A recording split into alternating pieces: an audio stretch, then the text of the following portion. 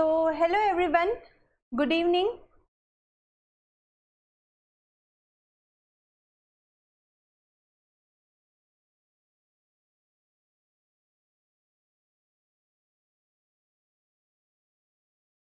Hello everyone good evening audio video एक बार check कर लेते हैं फिर we will start with today's session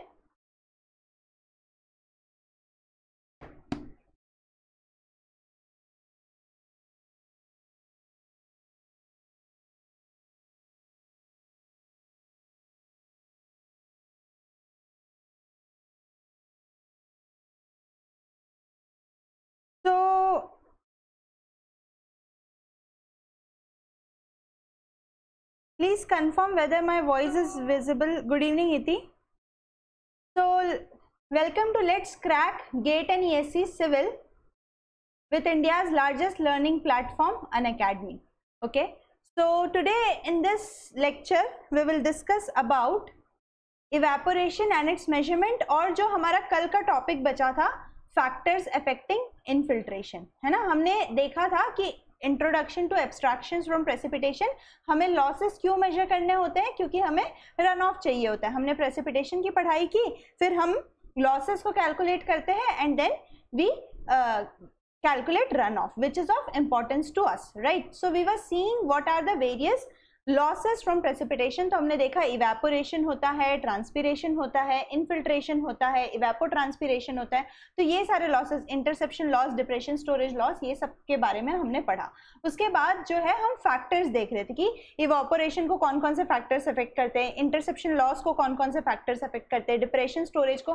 तो जो इंटरसेप्शन लॉस और डिप्रेशन स्टोरेज है, वो बहुत ही ज़्यादा छोटा अमाउंट होता है। इनिशियल स्टेजेस में होता है, इसलिए हम उसको इनिशियल लॉस बोलते हैं और उसको हमें डिटेल में नहीं पढ़ना होता है। हमें इवेपोरेशन और इनफिल्ट्रेशन को डिटेल में पढ़ना होता है। तो आज हम इवेपोरेशन को डिटेल में देखेंगे। उससे पहले कि जो कल का टॉपिक बचा था, उसको हम कवर कर लेंगे। ठीक है? तो आप एक बार मुझे बता दीजिए कि आपको कोई डाउट है पिछले टॉपिक्स में और मेरा ऑडियो वीडियो सब क्लियर आ रहा है? आलोक, नमस्कार। So everything is clear I think है ना? ऑडियो वीडियो में कोई प्रॉब्लम तो नहीं है? एक बार कंफर्म कर दीजिए। मुझे कि ऑडियो वीडियो में कोई दिक्कत नहीं है, फिर हम स्टार्ट कर लेंगे।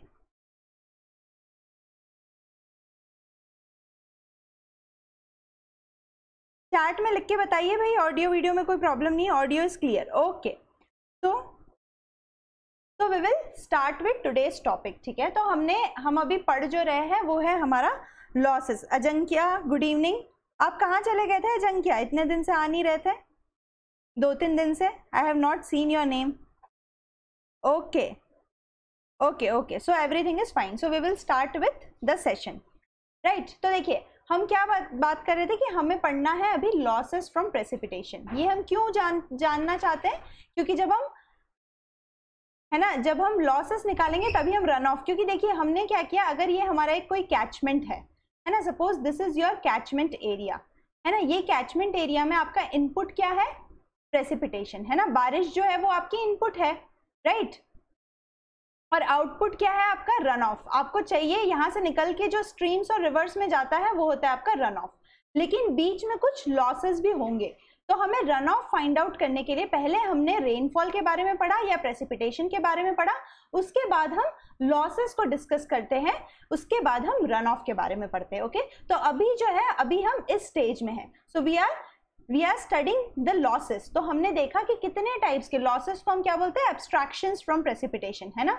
तो लॉसेस कितने टाइप के हो रहे हैं? वो हमने देखा कि हमारे जो लॉसेस थे, वो सारे देखे और उसके हमने फैक्टर्स अफेक्टिंग देखे। तो उसमें से जो एक था, वो बचा हुआ था। उससे पहले let me tell you about myself so I am Bhavisha Thakkar I have done my masters from National Institute of Technology Warangal मैं नेशनल प्रोजेक्ट इम्प्लीमेंटेशन यूनिट में भी सेलेक्ट हुई थी as a assistant professor but that time I was in Arunachal Pradesh और मेरी posting Chhattisgarh में आई थी from where I belong तो मैं ज्वाइन नहीं की थी ये वाला।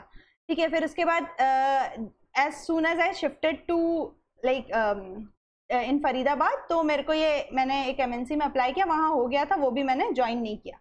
फिर उसके बाद I have qualified GATE multiple times AE और जेई का एग्ज़ाम्स भी क्वालिफाई किया ज्वाइन करके I thought it is not my cup of tea मुझे अच्छा नहीं लगा ये जॉब तो मैंने ये छोड़ दिया।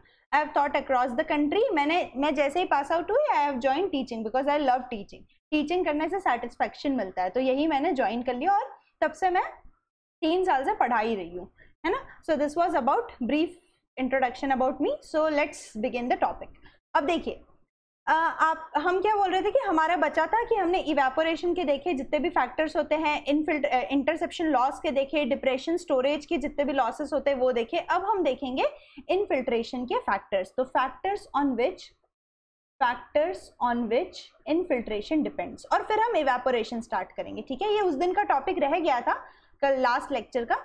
So factors on which infiltration depends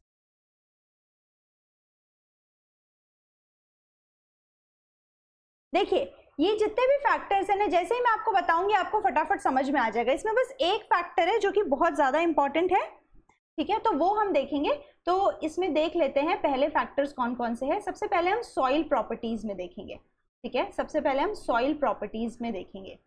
soil properties इसमें पहला फैक्टर जो होता है, वो होता है आपका साइज़ ऑफ़ सॉइल पार्टिकल्स ठीक है? साइज़ ऑफ़ सॉइल पार्टिकल्स तो ये साइज़ ऑफ़ सॉइल पार्टिकल्स पे डिपेंड करता है। अगर आपकी लार्जर सॉइल पार्टिकल्स होंगे if your soil particles are larger तो it will have more infiltration okay rather than your smaller fine soil particles तो बताइए क्ले में इन्फिल्ट्रेशन ज़्यादा होगा कि सैंड में? मुझे कमेंट सेक्शन में लिख के बताइए कि क्ले में चैट uh, सेक्शन में बताइए कि क्ले में इन्फिल्ट्रेशन ज़्यादा होगा कि सैंड uh, में। मैं ये बोल रही हूँ कि जो भी लार्जर पार्टिकल्स होते हैं उसका इन्फिल्ट्रेशन ज़्यादा होता है as compare to smaller particles okay तो बताइए किसमें ज़्यादा होगा क्ले में कि सैंड में? आई एम राइटिंग हियर तब तक आप आंसर लिख के बताइए that larger soil particles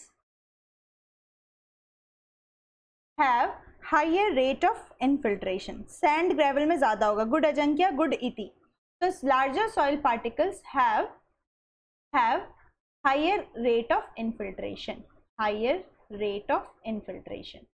Okay? तो किसमें ज़्यादा होगा? जो कोर्स ग्रेन सॉइल्ड होंगे जितने भी तो sands have more infiltration have more infiltration than clay sand have more infiltration than clay okay ये हो गया आपका पहला पार्ट पॉइंट दूसरा जो होता है, वो होता है packing of soil packing of soil ये एकदम सिंपल है। अगर आपका सॉइल टाइटली पैक होगा तो उसमें इन्फिल्ट्रेशन कम होगा. अगर आपका सॉइल लूजली पैक्ड होगा तो उसमें इन्फिल्ट्रेशन ज़्यादा होगा, है ना? तो ये बहुत ही ऑब्वियस सा पॉइंट है। तो ये आप लिख लीजिएगा पैकिंग ऑफ़ सॉइल तो अगर आपका जो सॉइल है, वो अगर आपका लूजली पैक्ड होगा लूजली पैक्ड होगा तो ये इसमें आपका क्या हो जाएगा? लूजली पैक्ड होगा तो मोर इनफिल्ट्रेशन अगर आपका सॉइल टाइटली पैक होगा टाइटली पैक्ड होगा तो इसमें आपका हो जाएगा लेस इनफिल्ट्रेशन ओके okay?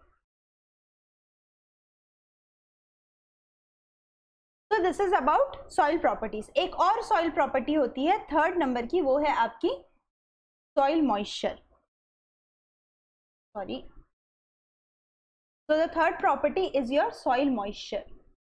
देखिए, आज ना हम जितने भी इवेपोरेशन के क्वेश्चंस है ना, वो हम आज डिस्कस करेंगे। वो बहुत इंपॉर्टेंट है।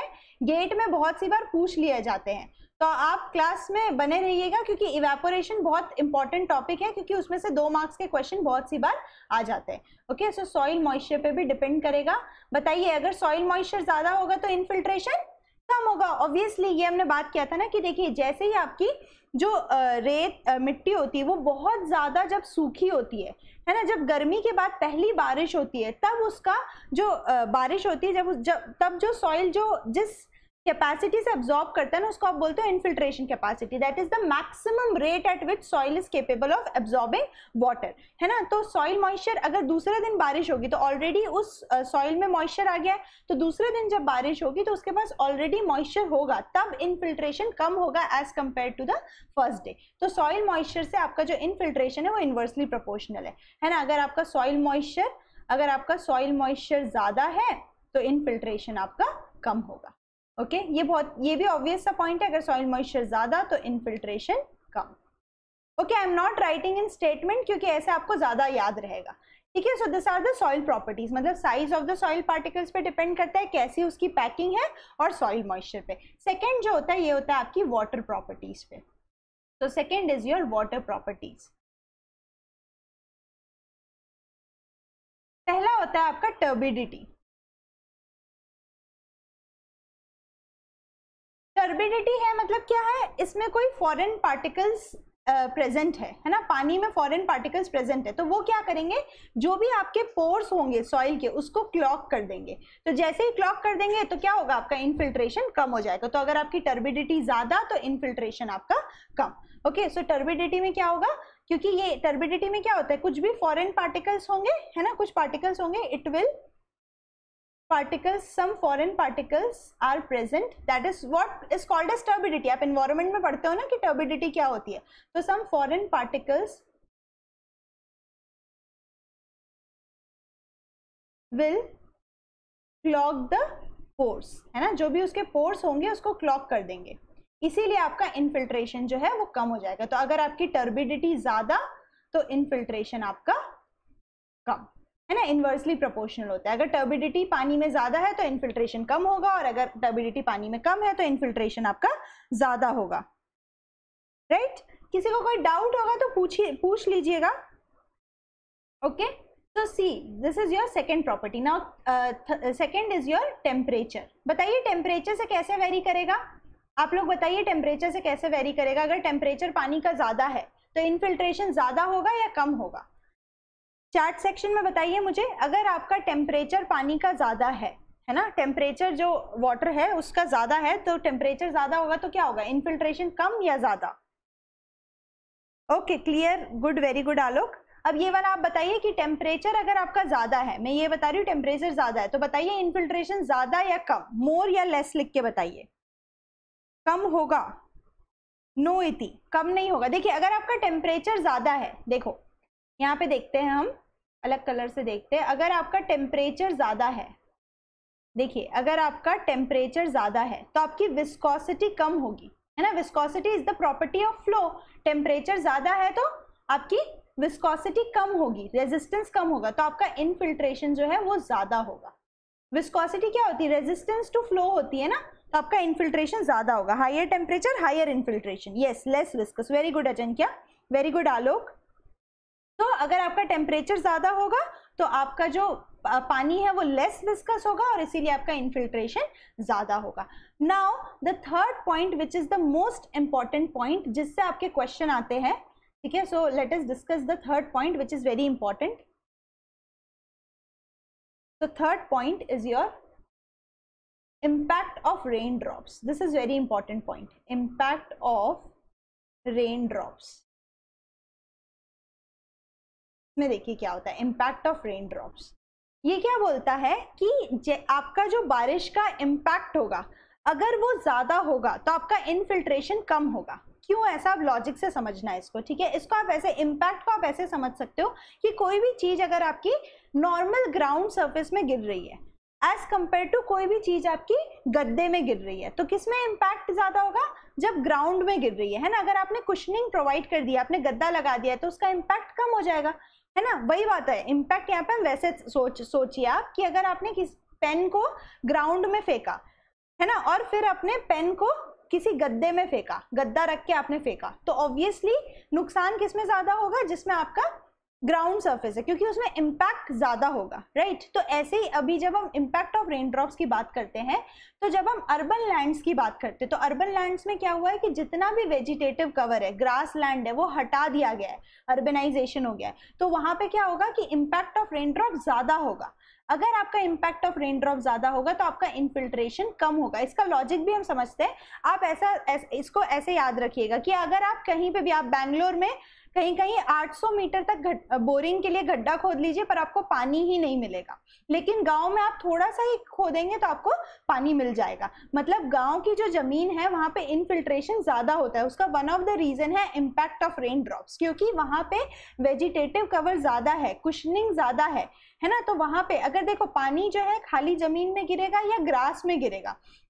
तो ग्रास में उसका इम्पैक्ट कम होगा एज कंपेयर टू ज़मीन में। तो इम्पैक्ट से होता क्या है माय डियर पहले तो आप ये समझ लीजिए, आप, आपको याद रखना है कि अर्बन लैंड में इनफिल्ट्रेशन कम होता है क्योंकि वहाँ पे इम्पैक्ट ऑफ़ रेन ड्रॉप ज़्यादा। मतलब अगर इम्पैक्ट ऑफ़ रेन ड्रॉप ज़्यादा तो इनफिल्ट्रेशन आपका कम। ऐसा क्यों होता है? क्योंकि जब आपका इम्पैक्ट होता है ना तो वो क्या करता है? It displaces the fine particles जो भी सॉइल के फाइन पार्टिकल्स होते हैं मतलब जैसे पानी का इम्पैक्ट ज़्यादा होता है तो फाइन पार्टिकल्स को डिस्प्लेस कर देता है और वो क्या करते हैं पोर्स जो भी होते हैं सॉइल में जो भी पोर्स होते हैं, उसको जाके ब्लॉक कर देते हैं। इसीलिए आपका इन्फिल्ट्रेशन कम हो जाता है okay so it causes impact of raindrop causes causes displacement of displacement of displacement of fine particles, okay? So impact of raindrops causes displacement of fine particles which which clogs the which clogs the pores. Hence hence if impact of raindrop is more if impact of raindrops is more है ना तो infiltration आपका less होगा। Infiltration आपका less होगा। Okay okay? तो अब बताइए कि अगर आपका वेजिटेटिव कवर अगर आपका वेजिटेटिव कवर ज़्यादा होगा, अगर आपका वेजिटेटिव कवर ज़्यादा होगा तो इनफिल्ट्रेशन ज़्यादा होगा या कम? बताइए चैट में बताइए मुझे कि अगर आपका water yes water can not seep through concrete surface अभी तो हम सीप सीपेज की बात नहीं कर रहे माय डियर अभी तो हम, अभी हम सिर्फ़ इनफिल्ट्रेशन की बात कर रहे हैं ना? सीपेज अलग होता है। देखिए अजंकिया अगर आप बात कर रहे हैं सीपेज की तो ये आपका तीनों चीज़ें अलग है, ठीक है? जब ये पानी नीचे जाता है तो ये आपका इनफिल्ट्रेशन होता है, ठीक है? फिर ये deep vertical movement of water when it's joins the ground water table is called as percolation ये आपका परकोलेशन होता है। और आपका जो सीपेज होता है ना, वो ये होता है। अभी हम सीपेज की बात नहीं कर रहे हैं इसलिए हम सीपेज नहीं बोलेंगे, ये आपका सीपेज होता है। ये जो येलो कलर से बना है ना so this is your seepage so there is a difference seepage का मूवमेंट अलग होता है। So this is your seepage seepage में क्या होता है कि वो पानी निकल के डाउन स्ट्रीम में आता है। है ना? डाउन स्ट्रीम में आ रहा है। तो सपोज़ ये अपस्ट्रीम है, या डाउन स्ट्रीम है। So that is your seepage this is your infiltration this is your percolation so right now we are not talking about seepage Okay, so if your vegetative cover is more, then your impact of raindrops is less and your infiltration is more. Very good, Ajankya. Okay, so this is about this. So, Iti, is that clear? Higher vegetative cover will have lower impact on raindrops and more infiltration. Very good, Alo. तो अगर आपका vegetative cover ज़्यादा होगा तो आपका impact of rain drops कम होगा impact of rain drops कम होगा तो आपका इनफिल्ट्रेशन ज़्यादा होगा। अब ये आप कभी भूलोगे क्या? नहीं। है ना? आपको एग्ज़ाम्पल से याद रखना है कि गाँव में पानी तुरंत निकल जाता है क्योंकि वहाँ पे वेजिटेटिव कवर आपका ज़्यादा होता है। Clear so this is about impact of rain drops अब एक और फैक्टर देख लेते हैं, वो होता है आपका कॉम्पैक्शन कॉम्पैक्शन तो अगर आपका सॉइल जो है, अगर वो कम्पैक्टेड होगी, है ना? अगर आपकी सॉइल कॉम्पैक्टेड होगी तो आपका इनफिल्ट्रेशन क्या होगा? कंपैक्टेड है तो इन्फिल्ट्रेशन कम, है ना? So soil infiltration is inversely proportional to compaction of soil right तो ये भी एक छोटा सा फैक्टर है। अब हम आते हैं इवेपोरेशन में, वापस से। ठीक है तो हमने इवेपोरेशन के सारे फैक्टर्स तो देख लिए थे। शबीन हाय शबीन तो देखिए, अब हमने इवेपो सारे इन्फिल्ट्रेशन के फैक्टर्स तो देख लिए थे, है ना? अब हम आते हैं इवेपोरेशन में। इस इनफिल्ट्रेशन के जितने भी पैरामीटर्स है, इसमें किसी को कोई डाउट तो मुझे बताइए। देखिए, जो भी हमने पढ़ा ना, उसमें सबसे इंपॉर्टेंट है। बाकी सारे फैक्टर्स तो बहुत ही ऑब्वियस थे, है ना? आपको पता ही होगा। बाकी सारे बहुत ऑब्वियस थे। सिर्फ़ एक चीज़ आपको याद रखनी है कि जब आपका इम्पैक्ट ऑफ़ रेन ड्रॉप्स ज़्यादा होगा, तब आपका इन्फिल्ट्रेशन कम होगा। और इम्पैक्ट कहाँ ज़्यादा होगा? अर्बन लैंड्स में कॉन्क्रीट सर्फेस में। अगर आपका पास वेजिटेटिव कवर है ग्रास लैंड है तो वहाँ पे इम्पैक्ट ऑफ़ रेन ड्रॉप कम होगा। इसीलिए आप देखते हो कि रूरल एरियाज़ में आपका इनफिल्ट्रेशन ज़्यादा होता है as compare to your urban lands तो ये बहुत सी बार घुमा फिरा के अलग अलग वर्ड्स में आपको क्वेश्चन ऑब्जेक्टिव पूछा जाता है। तो माय डियर अगर आपका कंसेप्ट क्लियर है तो कितना भी घुमा ले, आपको पता होगा। इम्पैक्ट ऑफ़ रेन ड्रॉप्स को अलग लैंग्वेज में बोल देगा। है ना? बट आपको समझना है कि वो क्या बोलना चाह रहा है। बस आपको कॉन्सेप्ट पता ma'am when will be hydrology English lecture में start it will start soon soon my dear uh, I will talk to the management and I will start in English also. Okay, so like before I used I used to teach in English only. So मेरे अगर आपने YouTube में दूसरे दूसरे channels में video देखे होंगे कहीं तो वो इंग्लिश में ही हुआ करते थे है ना तो पहले मैं इंग्लिश में ही पढ़ाती थी बट अभी यहाँ पे बोला है कि हिंदी में पढ़ाना है so I am teaching in Hindi so I'll, I I will start in English also no worries okay so I'm comfortable in both Hindi में भी पढ़ा सकती हूँ इंग्लिश में भी पढ़ा सकती हूँ तो देखिए, ये हो गया आपका इनफिल्ट्रेशन के बारे में। अब देखिए, अब जो नेक्स्ट टॉपिक है हमारा, वो है इवेपोरेशन इसमें बहुत सी बार माय डियर क्वेश्चन आ जाते हैं आपके गेट में। तो वो भी, वो जो गेट के क्वेश्चन आए हुए वो भी हम डिस्कस करेंगे। एक दो एक्स्ट्रा क्वेश्चन भी आज हम डिस्कस करेंगे, जहाँ से इवेपोरेशन के जो क्वेश्चन जहाँ से आते हैं। है ना? और बहुत ही सिंपल है। एक बार आपने पढ़ लिया तो आपको समझ में आ जाएगा, बहुत अच्छे से। वॉट इज़ हैपनिंग तो सी अब हम पढ़ेंगे इवेपोरेशन इवेपोरेशन के बारे में हमने लास्ट वीडियो लेक्चर में पढ़ लिया था. What are the various factors affecting evaporation ये भी हमने पढ़ लिया था. तो इवेपोरेशन क्या होता है? It is the process in which liquid converts into vapour ये हमने एकदम ध्यान से समझा था. है ना? कि कैसे होता है? ये प्रोसेस मैंने आपको पूरा डिटेल में डिस्कस किया था कि कैसे कैसे होता है ना? तो आपका जो पानी में सैचुरेटेड वेपर प्रेशर होता है वेपर प्रेशर के डिफरेंस की वजह से होता है। ऊपर जो एयर होती है, उसमें actual prevailing atmospheric vapour pressure होता है। जब तक आपका डिफरेंस रहेगा, जब तक आपका सैचुरेटेड वेपर प्रेशर आपका एटमॉस्फेरिक वेपर प्रेशर से ज़्यादा होगा, तब तक आपका इवेपोरेशन का प्रोसेस कंटिन्यू रहेगा। जैसे ही वो कम हो जाएगा, आपका इवेपोरेशन का प्रोसेस स्टॉप हो जाएगा, क्योंकि रिवर्स हो जाएगा। इसके लिए इवेपोरेशन के प्रोसेस को होने के लिए दो चीज़ चाहिए। एक तो एनर्जी चाहिए, जो आपको सन से मिलती है।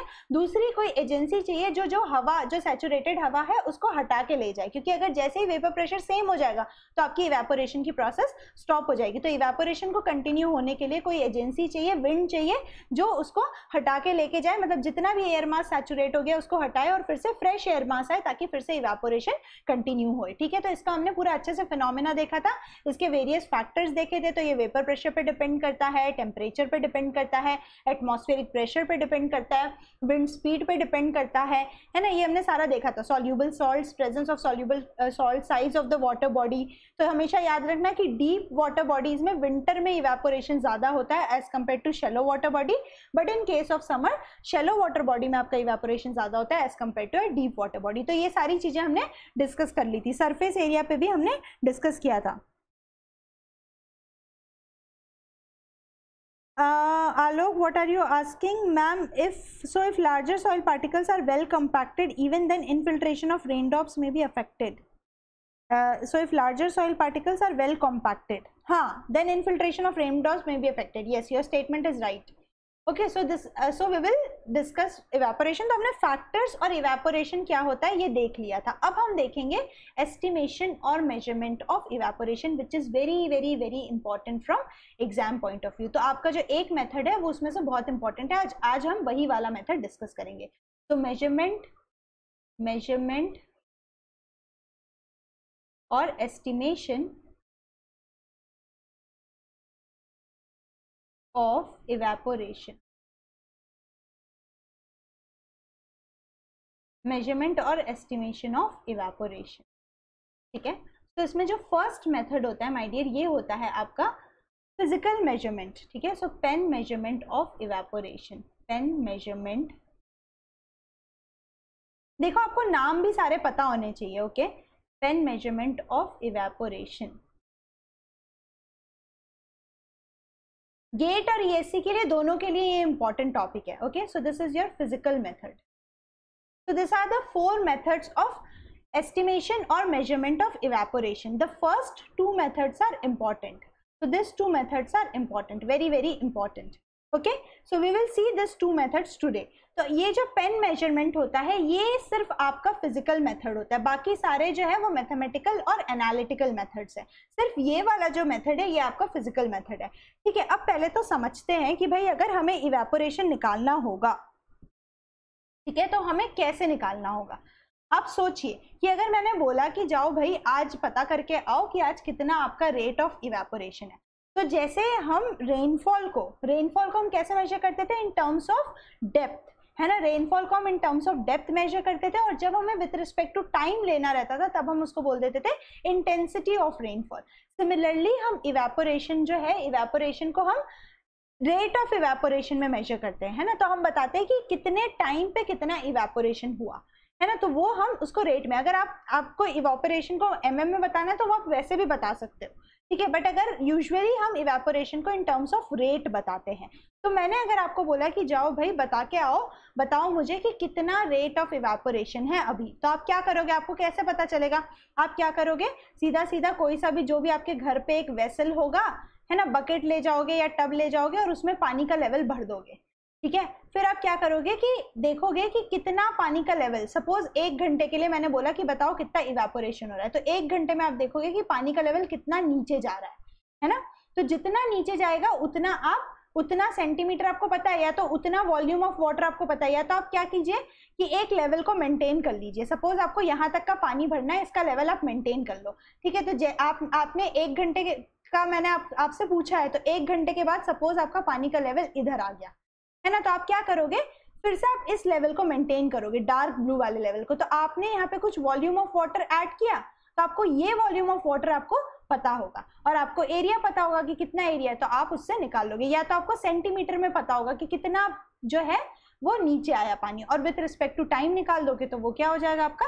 रेट ऑफ़ इवेपोरेशन ठीक है? तो M M per hour centimetre per hour पूरे दिन का निकालने बोलूँ तो वो पर डे में हो जाएगा। So it will vary with respect to the scale of the unit right? So that is your pen measurement of evaporation. वही आपका फ़िज़िकल मेथड है ठीक है? तो पेन आते हैं जैसे अलग अलग टाइप के पेन आते हैं तो सबसे पहला वाला जो पेन होता है वो होता है आपका क्लास ए इवेपोरेशन पेन उसको उसको यूएस वेदर ब्यूरो पेन भी बोलते हैं क्योंकि यूएस वेदर ब्यूरो ने उसे निकाला था। फिर उसके बाद आपका आता है इंडियन स्टैंडर्ड इंस्टीट्यूट पैन है ना? और फिर एक आता है आपका कोलोरोडो संकन पैन इसमें इंपॉर्टेंट क्या है ये मैं अभी आपको बताऊँगी। पहले इसको सम, ये समझ में आया क्या? कोई डाउट है क्या?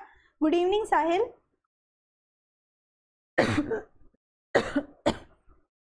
good evening Sahil तो इसमें कोई डाउट है क्या? मुझे बताइए, जितना मैंने अभी समझाया, इसमें कोई डाउट है क्या? इवेपोरेशन क्या होता है?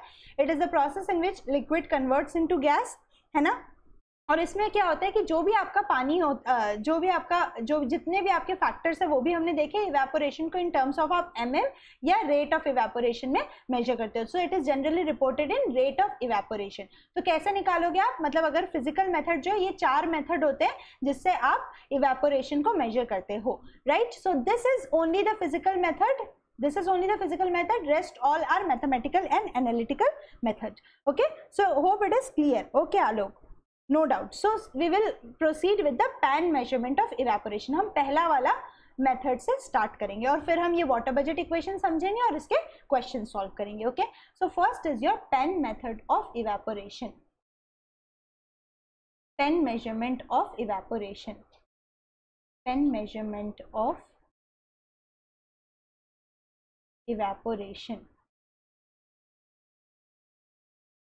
okay so देखिए, ये जो पैन आज हम पढ़ेंगे, वो तीन टाइप के पढ़ेंगे। पैन ये सिंपली एक इंस्ट्रूमेंट होता है, जो कि जैसे हम रेनफॉल को मेजर करते हैं with the help of rain gauge वैसे ही हम इवेपोरेशन को मेजर करते हैं with the help of pan अब ये अलग अलग टाइप के पैन आते हैं। तो पहला जो होता है, ये होता है आपका class A evaporation pan okay so class A evaporation pan इसको आप यूएस वेदर ब्यूरो पैन भी बोलते हो। ठीक है? So this is also called as US weather bureau pan ठीक है? तो देखिए, ये होता है आपका क्लास ए इवेपोरेशन पैन ठीक है? तो ये यूएस ने डेवलप किया था, इसलिए आपको आप इसको US weather bureau evaporation pan भी बोलते हो। इसमें क्या होता है माई डियर इसका आपको डायमेंशन याद रखना है, ठीक है? ये गैल्वेनाइज्ड आयरन का बना हुआ रहता है, कुछ नहीं होता है एक सिंपली एक पैन होता है, ठीक है? सिंपली एक पैन होता है, इसको आप एक वुडन अरेंजमेंट में इंस्टॉल कर देते हो, ठीक है? एक वुडन अरेंज अरेंजमेंट में आप इसको इंस्टॉल कर देते हो, इसका डायमेंशन क्या होता है? इसका डायामीटर होता है, इसका जो डाया होता है, ये होता है one two one zero M M ये आपको याद रखना है। किसी किसी छोटे छोटे एग्ज़ाम्स में आपसे इसका डाया पूछ लेता है और इसका जो डेप्थ होता है टोटल वो होता है आपका two fifty five M M 255 mm ठीक है? तो आप यहाँ पे 50 mm या 55 mm छोड़ देते हो फ्री बोर्ड ताकि जो विंड मूवमेंट है, वो विंड मूवमेंट के लिए फ्री मूवमेंट ऑफ़ विंड के लिए फ्री बोर्ड आप छोड़ देते हो, बाकी जो रहता है आपका, पानी भरते हो, फिर जैसे ही लेवल नीचे गया, आप उसको मेजर कर लेते हो। और ये वाला जो हाइट होता है, ये होता है आपका 150 mm ठीक है? So this is your class A evaporation pan generally ये गैल्वेनाइज्ड आयरन की शीट से बनता है। तो इसमें सिर्फ़ आपको ये डाया याद रखना है so this is your standard class A evaporation pan ये किसने डेवलप किया था? यूएस ने। तो उसका यूएस वेदर ब्यूरो पैन भी बोलते हैं। ठीक है? अब देखिए, दूसरा टाइप का जो पैन आता है, अब इसमें एक इंपॉर्टेंट चीज़ होती है, वो होती है pan coefficient okay so this is very very very important thing I will discuss it later but यहाँ पे मैं आपको बता देती हूँ कि ये जो पैन कोफिशियंट होता है, इसकी वैल्यू होती है इस केस में पॉइंट सेवन यही आपको याद रखनी है, ये इंपॉर्टेंट है। ये क्या होता है, कैसे आता है, मैं आपको अभी समझाऊँगी। पहले हम सारे पैंस को डिस्कस कर लेते हैं, उसकी सीपी वैल्यू डिस्कस कर लेते हैं, फिर मैं बताऊँगी कि what is this pan coefficient okay so अब देखिए, जो सेकंड टाइप का पैन होता है, इसमें कोई डाउट है क्या? इसमें कोई खैर डाउट नहीं होगा, इसमें सिर्फ़ आपको यही याद रखना है, ये एक इंस्ट्रूमेंट होता है जिससे आप इवेपोरेशन मेजर करते हो, और इसका जो डाया होता है, वो होता है one two one zero M M ये गैल्वेनाइज आयन का बना हुआ रहता है, इसकी जो डेप्थ होती है, वो होती है two fifty five M M ठीक है? अब देखिए, जो सेकेंड टाइप का आपका पैन होता है, वो होता है आपका Indian institute ISI pan Indian standard institute pan ठीक है, ये क्या होता है? ये मॉडिफाइड वर्जन ऑफ़ यूएस तो हमने क्या किया? यूएस का कॉपी कर लिया, सिर्फ़ डायामीटर को चेंज कर दिया, ठीक है? बाकी सारी चीज़ें सेम होती है और ये ये लेकिन कॉपर शीट का बना हुआ रहता है। ये आपका गैल्वेनाइज्ड आयन शीट का है, ये आपका कॉपर शीट का होता है, जिसकी थिकनेस पॉइंट नाइन एम होती है और हमने ऊपर में हेक्सागोनल वायर मैश लगा दी। ठीक है, ताकि डिस्ट्रीब्यूशन ऑफ़ जो डिस्ट्रीब्यूशन ऑफ़ जो टेम्परेचर है वो यूनिफॉर्म हो और कोई भी डिस्टर्बेंस ना हो। सिर्फ़ हमने ये किया। तो इंडियन स्टैंडर्ड इंस्टीट्यूट पैन जो होता है, वो मैं यही बना दे रही हूँ। ठीक है, ये ऐसा होता है, अलग कलर से बना देते हैं। आपको बेसिकली इसमें सीपी की वैल्यू याद रखनी CP is your pan coefficient ठीक है तो ये कैस, क्या होता है, मैं अभी आपको बताऊँगी। ये पहले इतना समझ लेते हैं, ये वाली चीज़ें।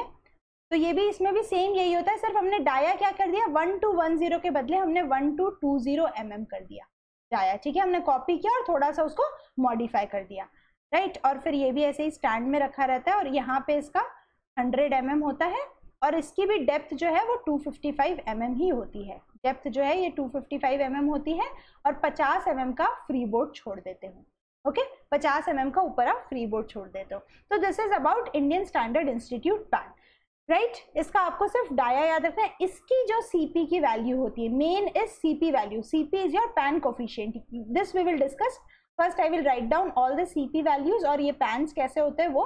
तो ये हो गया आपका सीपी वैल्यू पॉइंट एट इस जो क्लास ए इवेपोरेशन पैन में सीपी वैल्यू जो होती है वो पॉइंट सेवन होती है। इंडियन स्टैंडर्ड इंस्टीट्यूट पैन की सीपी वैल्यू पॉइंट एट होती है। ठीक है, यहाँ तक समझ में आया? अब देखिए, एक और पैन होता है। अब इसमें क्या होता है माई डियर अभी मैं आपको पहले अब कंसेप्ट समझाती हूँ, फिर मैं थर्ड वाला पैन डिस्कस करूँगी तो आपको ज़्यादा अच्छे से समझ में आएगा। अब देखिए, ये जो सीपी होता है, ये आपका पैन कोफिशियंट होता है। आपको एक्चुअली इवापोरेशन कहाँ से कैलकुलेट करना है? पैन से नहीं करना है। आपको एक्चुअली लेक का इवेपोरेशन चाहिए। Right you have to find out the evaporation from the lake not from the pan है ना? तो इसीलिए कोई आपका उसमें एरर आएगा, इसीलिए आप उस पर करेक्शन लगाते हो। एरर क्यों आएगा? क्योंकि देखिए, क्यों आपके कौन से फैक्टर्स और सीपी की वैल्यू वन से कम क्यों है?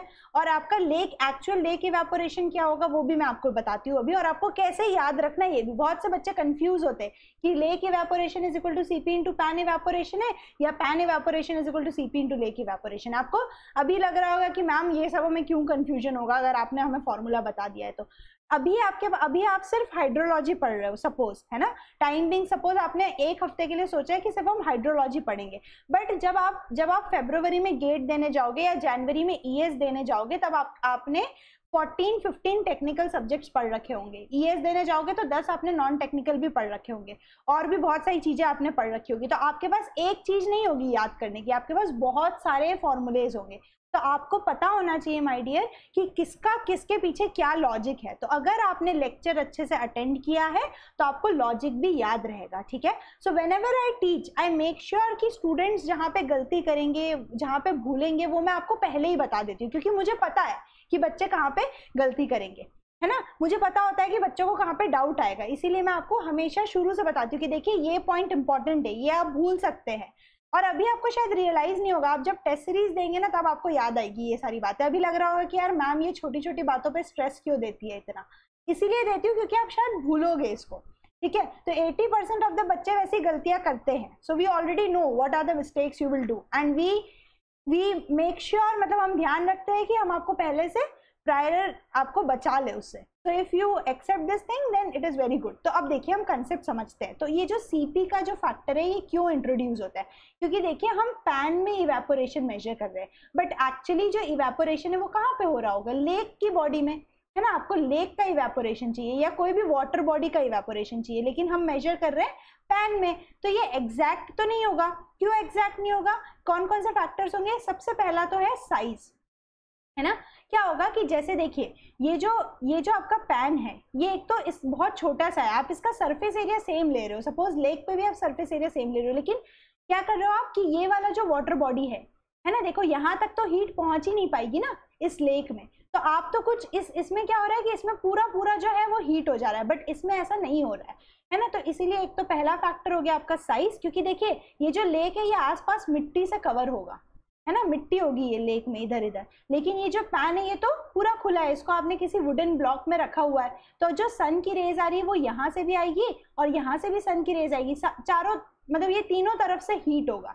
तो इसीलिए ये ये जो पैन का इवेपोरेशन होता है, वो हमेशा ज़्यादा देता है as compare to your lake evaporation क्यों ज़्यादा देता है? क्योंकि देखिए, ये तीनों तरफ़ से हीट हो रहा है। और ये जो छोटा बॉडी है और ये जो ये डीप है है ना? लेक आपका थोड़ा डीप होगा तो यहाँ तक तो यहाँ वाले, यहाँ तक तो हीट पहुँच ही नहीं पाएगी। तो हमेशा जो आप पैन का इवेपोरेशन लेते हो, वो आपको हाइयर साइड में मिलता है है ना? तो pan evaporation is always greater than your lake evaporation इसका मैंने आपको रीजन भी बताया, ठीक है? तो pan evaporation is greater than your lake evaporation ऐसा क्यों होता है? ये भी हमने समझा, है ना? क्योंकि एक तो पहली बात तो साइज़ और दूसरी बात कि ये जो पैन होता है, ये तीनों साइड से ओपन है ना? तो सन की रेज यहाँ भी आ रही है यहाँ भी आ रही है यहाँ भी आ रही है बट इस केस में लेक के केस में नहीं आएगी। तो पैन का इवेपोरेशन हमेशा आपका ज़्यादा होता है लेक इवेपोरेशन से। तो देखिए, आपको एक्चुअली फाइंड आउट क्या करना है? लेक का इवेपोरेशन है ना? आपको एक्चुअली क्या फाइंड आउट करना है? लेक का इवेपोरेशन तो हमेशा जो लेक इवेपोरेशन होगा lake evaporation lake evaporation is equal to Cp into pan evaporation. है ना? तो देखिए सीपी की वैल्यू इसीलिए वन से कम है क्योंकि आपका पैन इवेपोरेशन ज़्यादा होता है लेक इवेपोरेशन के कंपैरिजन में। मतलब जो एक्चुअल आपकी लेक में कंडीशन होगी, वो जो पैन बता रहा है, उससे कम ही होगा। इसीलिए जो आपका सीपी होता है, वो लेस देन वन होता है। है ना? तो सबसे पहला जो you class A weather bureau pan था, उसमें आपका सीपी का वैल्यू पॉइंट था। आई पैन में आपकी सीपी की वैल्यू पॉइंट एट है और एक और टाइप का हम पैन पढ़ते हैं, जिसको हम बोलते हैं कोलोरोडो संकन पैन उसकी वैल्यू होती है सीपी की पॉइंट सेवन एट ये तीनों वैल्यूज़ आपको माय डियर याद रखनी है। ठीक है? तो lake evaporation is equal to CP into pan evaporation okay यहाँ पे नहीं आ रहा है, मैं नीचे लिख देती हूँ। तो your lake evaporation this is very important you have to remember और देखो, इसमें रिमेंबर क्या ही करना है? आपको समझ में आ गया कि एक्चुअली कहाँ से निकालना होता है हमें? इवेपोरेशन लेक से, है ना? और जो पैन का आप निकालते हो, वो हमेशा आपको ज़्यादा मिलता है और सीपी की वैल्यू लेस देन वन होती है तो इसीलिए आपका lake evaporation is equal to CP into pan evaporation तो this is from logic you have to remember don't remember the formula की lake evaporation is equal to CP into pan evaporation क्यों होता है? ये भी हमने समझ लिया यहाँ पे। ठीक है यहाँ पे अब किसी को कोई डाउट है तो बताइए फिर हम थर्ड टाइप का पैन मेजर करते हैं ये मैंने कंसेप्ट आपको इसलिए बता दिया क्योंकि थर्ड टाइप का जो पैन है उसका उसका उसको अब मेरे को ज़्यादा बताना ही नहीं पड़ेगा आपको समझ में आ जाएगा उसमें हम एक्चुअल कंडीशंस रखते हैं लेक की Alok, but surface area of lake is more, isn't it? It's a prominent fact. Isn't it a prominent factor? Yes, my. तो हम क्या करेंगे सेम सरफेस एरिया का लेते हैं देखो जब भी हम चीज़ों को कंपेयर कर रहे हैं तो सेम सरफेस एरिया पे हम लेंगे ठीक है? सेम सरफेस एरिया पे लेंगे। अगर हम बात कर रहे हैं, अगर एक इतना हमने पहन लिया तो उतने ही सरफेस एरिया ऑफ़ लेक का इवेपोरेशन हम देखेंगे। सरफेस एरिया हम सेम लेंगे। ठीक है? Okay so it is clear right तो देखिए, हम, आपको ये याद नहीं रखना है मतलब ऐसे याद रखना है बट आपको ये लॉजिक के साथ याद रखना है तो आप कभी नहीं भूलोगे। अब देखिए, जो थर्ड टाइप का आपका पैन होता है, वो होता है आपका so let's discuss this third type of pan it is called as Colorado sunken pan Colorado sunken pan तो दिस इज़ अ पैन जिसमें आप एक्चुअल जो लेक की कंडीशन है, वैसी आप इसमें प्रोवाइड करते हो। तो इसमें आप क्या करते हो? इसको पार्शियली अबव द ग्राउंड और पार्शियली बिलो द ग्राउंड रखते हो। तो जैसे सपोज़ ये आपका ग्राउंड लेवल है तो आपका ये जो पैन होगा, ये पार्शियली बिलो द ग्राउंड होगा और पार्शियली अबव द ग्राउंड होगा। ठीक है? तो ये आपका ग्राउंड लेवल हो गया। तो this is your ground level और ये जो पैन है तो इसमें आप क्या करते हो कि एक्चुअल लेक की कंडीशन इसमें प्रोवाइड करते हो। और इसका जो डेप्थ होता है, वो होता है आपका 460 सिक्सटी mm. ठीक है? तो 50 एम mm का फ्री बोर प्रोवाइड करते हो और ये आपका 410 टेन mm जो है, वो नीचे रहता है, ज़मीन के। और इसका जो सरफेस एरिया होता है, वो होता है 920 square M M M square या square M M square M M बोलेंगे जनरली है? तो इसमें आप क्या करते हो? ग्राउंड के नीचे रखते हो। मतलब इसमें आपको एक्चुअल जो लेक की कंडीशन होती है ना, वो मिलती है। ठीक है माय डियर बट इसका डिसएडवांटेज क्या है कि सपोज़ अगर आपका कहीं से लीकेज हो रहा है कुछ पानी का है ना? तो आप इसको एक्स्ट्रापोलेट कर लोगे और ज़्यादा। तो ये आप इसको आइडेंटिफाई नहीं कर पाओगे। अगर लीक हो रहा है तो इसमें आप आइडेंटिफाई करना आपका मुश्किल हो जाएगा okay so this is your Colorado sunken pan इसमें आप एक्चुअल लेक की कंडीशन प्रोवाइड करते हो। इसकी जो सीपी की वैल्यू होती है, ये होती है पॉइंट ठीक है? तो ये स्टैंडर्ड है एक्सपेरिमेंटल है, ये आपको याद करनी पड़ेगी। तो तीनों की सीपी की वैल्यू आपको याद करनी पड़ेगी। ठीक है? तो यहाँ पे आप एक नोट करके लिख लीजिएगा कि तीनों की सीपी वैल्यू क्या होती है? ये आपको बहुत सी बार ऑब्जेक्टिव में पूछ लिया जाता है। ठीक है तो क्लास ए इवेपोरेशन पैन की सीपी की वैल्यू क्या हो जाएगी? सीपी वैल्यूज़ है यहाँ पे। ठीक है तो ये होती है आपकी point seven I Indian standard institute pan की पॉइंट एट और आपका कोलोरोडो संकन पैन की संकन पैन लिख रही हूँ मैं सिर्फ़ यहाँ पे। संकन पैन की जो होती है, वो होती है आपकी, जो आपका संकन पैन है, उसकी आपकी होती है संकन पैन की आपकी होती है संकन पैन की होती है आपकी point seven eight this are the values you have to remember and also this formula so this formula is also important. So lake evaporation is equal to cp into pan evaporation. So this was about the first method of evaporation है ना? जो pan measurement of evaporation था, पहला physical method वो यही था। है ना? तो देखिए, अब इसमें किसी को कोई डाउट है क्या? बताइए, इसमें कोई doubt any doubt in this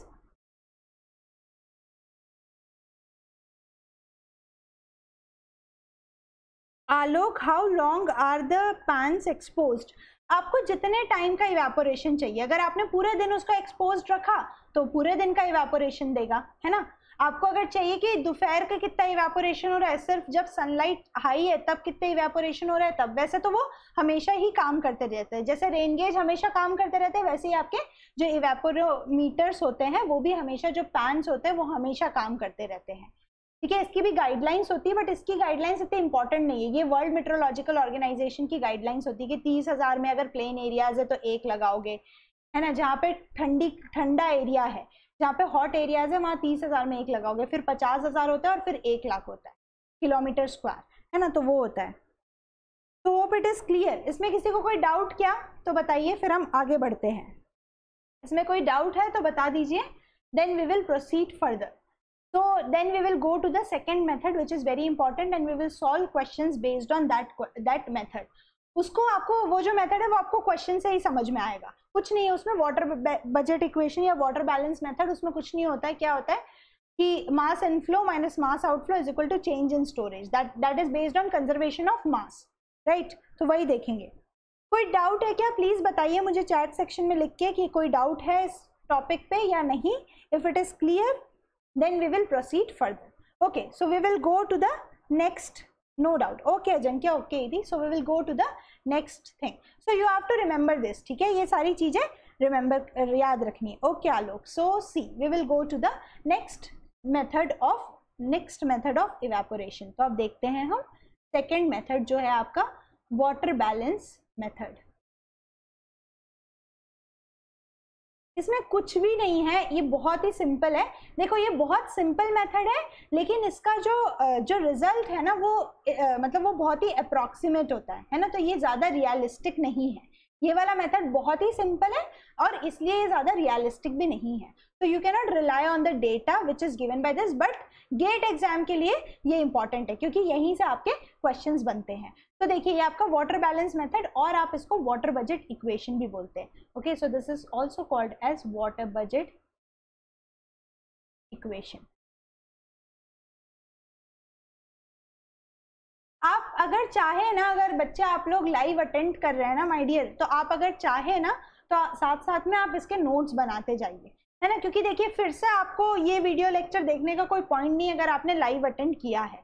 है ना? तो ये हो सकता है कि आपको एटलीस्ट क्लासरूम क्लासरूम वाली फील दे रहा हो, है ना? तो आप साथ साथ में नोट्स बनाते जाइए। तो whenever I teach I say to my students that no need to go again back to home and read hydrology है ना? You already have an number of subjects to read जो भी आप आ रहे हो हाइड्रोलॉजी में क्लास में ही याद करके जाइए। तो आप जो है, क्या करिए? पहले जो मैं समझाती हूँ, उसको सुनिए, फिर हो सकता है तो उसको फटाफट नोट डाउन कर लीजिए। तो एक बार आपने सुना, एक बार आपने समझा और एक बार आपने लिख लिया तो आपको चीज़ें ऑटोमेटिक याद हो जाएगी, ठीक है? तो ये देखिए, ये क्या होता है आपका? मास इनफ्लो देखिए, यहाँ पे होता है mass inflow minus mass outflow is equal to change in storage change in storage can be positive and it can be negative. Sorry change in storage. S. So delta s is your change in storage. Change in storage अब समझिएगा, ये जो water budget equation होता है, ये जो water balance method होता है, ये कंजर्वेशन ऑफ़ मास पे डिपेंडेंट होता है और ये बताता है कि mass inflow minus mass outflow is equal to change in storage तो देखिए, इसको हम समझेंगे क्वेश्चन से। कुछ नहीं है, आपका जो भी मास इनफ्लो है, जो भी आउटफ्लो है इनफ्लो क्या क्या हो रहा है? कि अगर कहीं से पानी आ रहा है, वो अगर स्ट्रीम में रन ऑफ़ का पानी आ रहा है तो वो आपका इनफ्लो हो जाएगा। बारिश हो रही है तो वो आपका इनफ्लो हो जाएगा। आउटफ्लो क्या हो जाएगा? अगर इवेपोरेशन हो रहा है तो वो आपका आउटफ्लो हो जाएगा। सीपेज हो रहा है इनफिल्ट्रेशन हो रहा है तो वो आपका क्या हो जाएगा? आउटफ्लो तो इसमें आपको क्या होगा कि कभी कभी आपको शायद इवेपोरेशन निकालने बोलेगा, है ना? कभी आपको बोलेगा कि बताइए कि लेवल क्या होगा पानी का? उसमें इनफ्लो इतना हो रहा है आउटफ्लो इतना हो रहा है तो इवेंचुअली फाइनल लेवल क्या होगा? तो इसमें जो है बहुत सारे आप टाइप के आपके न्यूमेरिकल क्वेश्चन बनते हैं। इसमें सिर्फ़ आपको क्या समझना है? यूनिट कन्वर्जन क्योंकि देखिए फॉर्मूला तो कुछ है ही नहीं ना। Mass inflow minus mass outflow is equal to change in storage तो ये इसमें तो कुछ याद करने वाली चीज़ ही नहीं है। है ना? तो मेन जो है, वो आपका यूनिट कन्वर्जन होता है। अभी जब हम क्वेश्चन देखेंगे तो आपको अच्छे से समझ में आ जाएगा। Okay? So, before going into questions, let me tell you something about an academy. So, if you have not yet installed the an academy learning app, please do install it. और यहाँ पे आपकी, आपको जो स्पेशल क्लासेस होती है, हर top educators की, वो फ्री में मिलती है। ठीक है? तो मैंने भी आपकी तीन स्पेशल क्लासेस ले ली है। हाइड्रोलॉजी पे ही, है ना? तो फ़र्स्ट चैप्टर में जो थीजन पॉलीगॉन मेथड था और फ्रीक्वेंसी एनालिसिस था, जो मैंने यहाँ पे डिस्कस नहीं किया यूट्यूब में, वो मैंने स्पेशल क्लास में डिस्कस किया है। तो आप जाके वो वहाँ पे देख सकते हैं। प्लस मैंने कल इनफिल्ट्रेशन का एक टॉपिक डिस्कस किया, वो भी आप देख सकते हैं। तो स्पेशल क्लासेस आपको फ्री में मिलती है, चाहे कोई भी एजुकेटर्स हो, है ना? उसकी आपको स्पेशल क्लासेस फ्री में मिलती है। तो बहुत सारा कंटेंट तो आपको ये फ्री क्लासेस होती है, ठीक है माय डियर इसमें आपको कोई सब्सक्रिप्शन लेने की ज़रूरत नहीं है। बट अगर आप एग्ज़ाम क्रैक करने के लिए बहुत ही ज़्यादा सीरियस है तो आप सब्सक्रिप्शन ले सकते हैं, है ना? क्योंकि अगर आप सब्सक्रिप्शन लेंगे तो आपकी बहुत ज़्यादा स्ट्रक्चर्ड लर्निंग है। ऐसा नहीं होगा। अगर आपको बोला गया है कि वन मंथ में आपका हाइड्रोलॉजी खत्म होगा इरीगेशन खत्म होगा तो आपका खत्म हो जाएगा। तो ये जो सब्सक्रिप्शन है, ये ट्वेल्व मंथ्स का ट्वेंटी फाइव थाउज़ेंड के लिए आता है। जब आप इसमें कोड यूज़ करते हैं बी टी लाइव है ना तो अगर आपने ये रेफरल कोड यूज़ किया बी टी लाइव तो आपको ये जो ट्वेंटी फाइव थाउज़ेंड का कॉस्ट है, ये आपको पड़ जाएगा twenty two thousand five hundred ठीक है? सिमिलरली अगर आप ये 24 मंथ्स का या दो साल के लिए सब्सक्रिप्शन लेते हैं और आप कोड यूज़ करते हैं बी टी लाइव तो आपका ये आपको ये ट्वेंटी सेवन थाउज़ेंड रुपीज़ में मिल जाता है। है ना? तो अभी की सिचुएशन के लिए कोविड नाइन्टीन इस, ये इस साल तो शायद रहने ही वाला है। वी डोंट नो कि वैक्सीन का डेवलपमेंट जून में अभी कुछ ट्रायल्स होने वाले तो होपफुली अगर आ जाए वैक्सीन तो ठीक है बट इस साल तो कोचिंग में जाना इज़ रिस्की तो बेटर है कि आप इसी प्लेटफॉर्म के थ्रू अपनी प्रिपरेशन कर सकते हो, और ये काफ़ी ज़्यादा इकोनॉमिकल एम है। ना? तो मैंने बहुत सारी जगह पढ़ाया है, जो प्रीमियम इंस्टीट्यूट्स है वहाँ की भी फ़ीस बहुत ज़्यादा है सेवेंटी टू नाइन्टी थाउज़ेंड तक की आपकी फ़ीस है पर ईयर की। यहाँ पे तो आपको दो साल का जो पैसा है ना, वो भी आपको एक साल के नॉर्मल कोचिंग इंस्टीट्यूट कोई भी छोटे शहर की अगर आप कोचिंग इंस्टीट्यूट ले रहे हैं, उससे भी ये कम है। और आपको यहाँ पे टॉप एजुकेटर्स पढ़ा रहे हैं। जो भी फैकल्टी यहाँ पे आई है, वो आपकी टेस्टेड फैकल्टी है। ठीक है, जिनके पास अच्छा खासा एक्सपीरियंस है, जो एक्सीलेंट फैकल्टी है, जिनका फीडबैक अच्छा है, वही आपको यहाँ पे पढ़ाने आया है। तो टेस्टेड फैकल्टीज मिलेगी। प्लस जो भी अच्छे हैं, एकदम बेस्ट है, वही मिलेंगे। और अगर आपको कोई एक टॉपिक किसी एक टीचर से समझ में नहीं आ रहा है तो आप किसी और से भी समझ सकते हैं, ठीक है? And if you are if you are taking the subscription आपको डेली लाइव क्लासेस मिलेगी। आपकी जो लर्निंग होगी, वो बहुत ही ज़्यादा स्ट्रक्चर्ड होगी।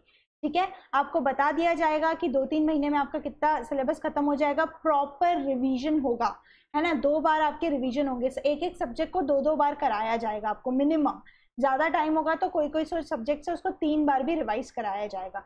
Okay then there will be separate doubt sessions तो क्या होता है कि अगर जैसे ही हमने प्लस में तीन क्लासेस ली उसके बाद हम डाउट सेशंस रखते हैं। है ना? तो ऐसा होता है कि जब आप पढ़ रहे हो, तब शायद आपको डाउट ना आए। जब आपने बाद में क्वेश्चन अप्लाई करना शुरू किया तो शायद आपको ज़्यादा डाउट उस समय डाउट आए तो वो भी आप बाद में हमसे क्लियर कर सकते हैं। And if you have missed any class you can watch it always you have the option आपके पास रिकॉर्डेड लेक्चर्स होते हैं, आप उसको ऑफलाइन देख सकते हो। और टेस्ट सीरीज़ भी इंक्लूडेड है, आपको सेपरेटली टेस्ट सीरीज़ के लिए पे नहीं करना है।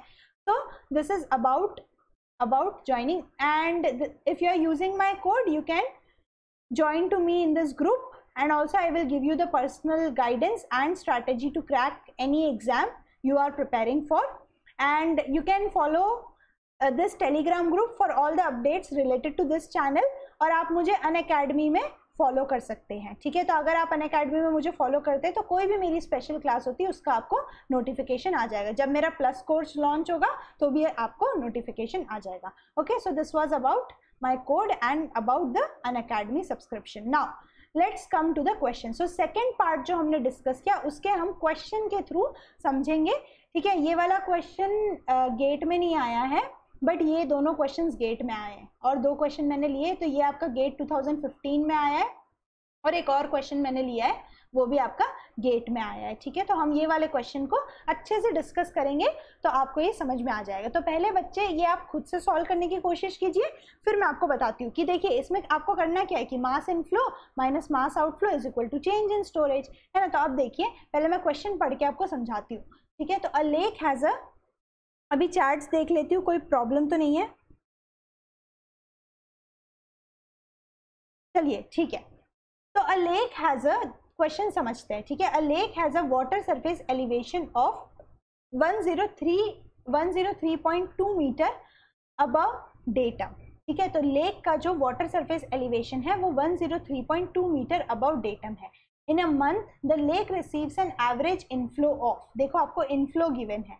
है ना, आपको इनफ्लो गिवन है inflow of six metre cube per second cumec मतलब metre cube per second and in the same period the outflow from the lake was outflow आपको गिवन है outflow from the lake was 6.5 metre cube per second okay in that month the lake receives a rainfall of receives मतलब क्या हो गया? ये भी आपका किसमें आ जाएगा? इनफ्लो में आ जाएगा, है ना? तो आपको जो लेक है, वो रिसीव करता है inflow of 145 forty mm. And evaporation from the lake surface was estimated as 6.1 centimetre है ना? तो इवेपोरेशन क्या होगा आपका? इवेपोरेशन तो आपका जो लेक सरफेस है, उससे उस, वो एब्स्ट्रैक्शन है, वो लॉस है है ना? बाहर जा रहा है तो ये आपका आउटफ्लो में आ जाएगा। अब आपसे पूछा क्या है क्वेश्चन में? देखो यूनिट्स अलग अलग दी हुई है। आपको सेम यूनिट आप मीटर क्यूब और एम mm को ऐड नहीं कर सकते हो। तो मैंने आपको बताया था ना कि इस क्वेश्चन में आपको सिर्फ़ यूनिट कन्वर्जन में ध्यान देना है। अब आप कैसे यूनिट कन्वर्जन करोगे? आपको अगर क्वेश्चन में पूछा है कि मीटर में निकालो सेंटीमीटर में निकालो या मीटर क्यूब पर सेकेंड में निकालो, आप उसके अकॉर्डिंग यूनिट्स को कन्वर्ट करोगे। तो अब इसमें देखते हैं, इसमें किसमें पूछा है? Using the water budget equation है ना using the water budget equation find the water surface elevation of lake at the end of this month आपको वाटर सरफेस एलिवेशन निकालना है at the end of this month elevation निकालना है मतलब आपको किसमें निकालना है? मीटर में, है ना? मीटर में निकालना है मतलब आप सारी यूनिट्स को क्या करोगे? मीटर में कन्वर्ट करोगे okay and surface area of the lake is 5000 hectares आपको सरफेस एरिया दे दिया है 5000 हेक्टेयर्स तो पहले आप इसको खुद से सॉल्व करने की कोशिश कीजिए, है ना? आपको इसका लेक का फाइनल एलिवेशन बताना है। तो देखो, आपको इनिशियल एलिवेशन दिया हुआ है कितना? 103.2 मीटर अब आप इसमें क्या करोगे? इनफ्लो को ऐड करोगे, है ना? तो ये देखो, ये जैसे लेक है तो ये लेक में आपका इनफ्लो ऐड होगा, वो वाटर लेवल को बढ़ाएगा और आउटफ्लो को आप सब्ट्रैक्ट करोगे। तो वो आपका फाइनल वाटर लेवल होगा, है ना? तो आपको इनफ्लो फाइंड आउट करना है आउटफ्लो फाइंड आउट करना है और किसमें फाइंड आउट करना है? एम mm में, है ना?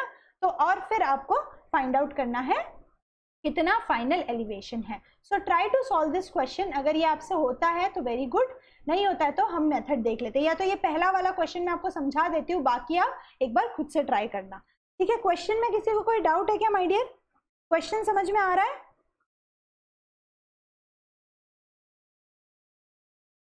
The question view are personally work by अरे हाँ यार। ओ देखिए, दूसरे क्वेश्चन में भी यही प्रॉब्लम होगी फिर शायद। एक मिनट रुकिए। मैं आपको जो क्वेश्चन है ना, वो एक बार बता देती हूँ। A lake has a water surface elevation of 103.2 शायद आई थिंक इतना इतना ब्लॉक हो रहा होगा। है ना? इतना ब्लॉक हो रहा होगा। तो देखिए, ये यहाँ पे क्या है? 103.2 metre about datum about datum in a month the lake receives यहाँ पे अबाउट डेटम है। 103.2 मीटर तक तो विजिबल होगा। यहाँ पे अबाउट डेटम ठीक है? फिर in a month the lake receives an average inflow of six cumec and in the same period next वाली जो लाइन है, वो है इन द सेम पीरियड तो जो पहली लाइन है, वो है one one zero three point two metre about datum ठीक है? So this is your first line in a month in a month the lake receives an average inflow of ये लिखा हुआ है and in the same month यहाँ पे लिखा है and in the same month जो तीसरी लाइन है सेम मंथ या same period the outflow from the lake was estimated as 6.5 cumecs in that month फिर से फुल स्टॉप है in that month in that month the lake receives a rainfall of, the lake receives a rainfall of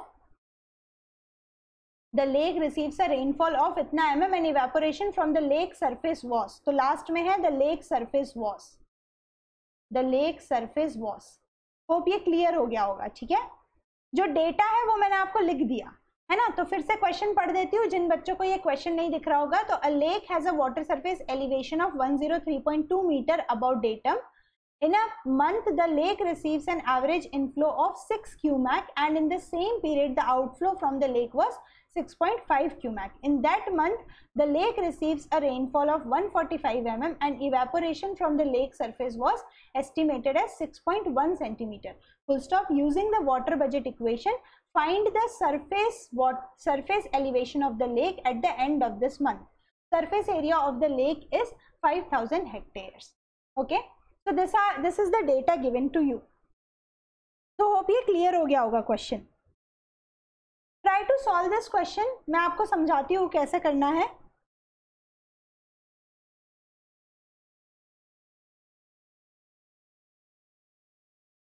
So, we will solve this question.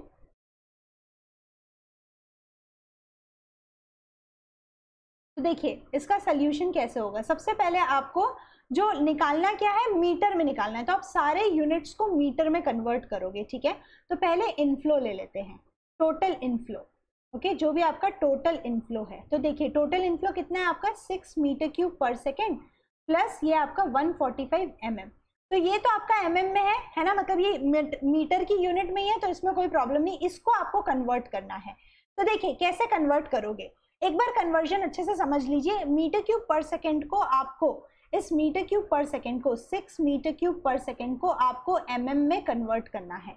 Right right? क्योंकि ये M mm में है तो ये M mm में होगा, तभी आपका ऐड होगा और आपको इवेंचुअली आंसर भी मीटर में चाहिए। है ना? तो मीटर में चाहिए तो क्या होगा आपका?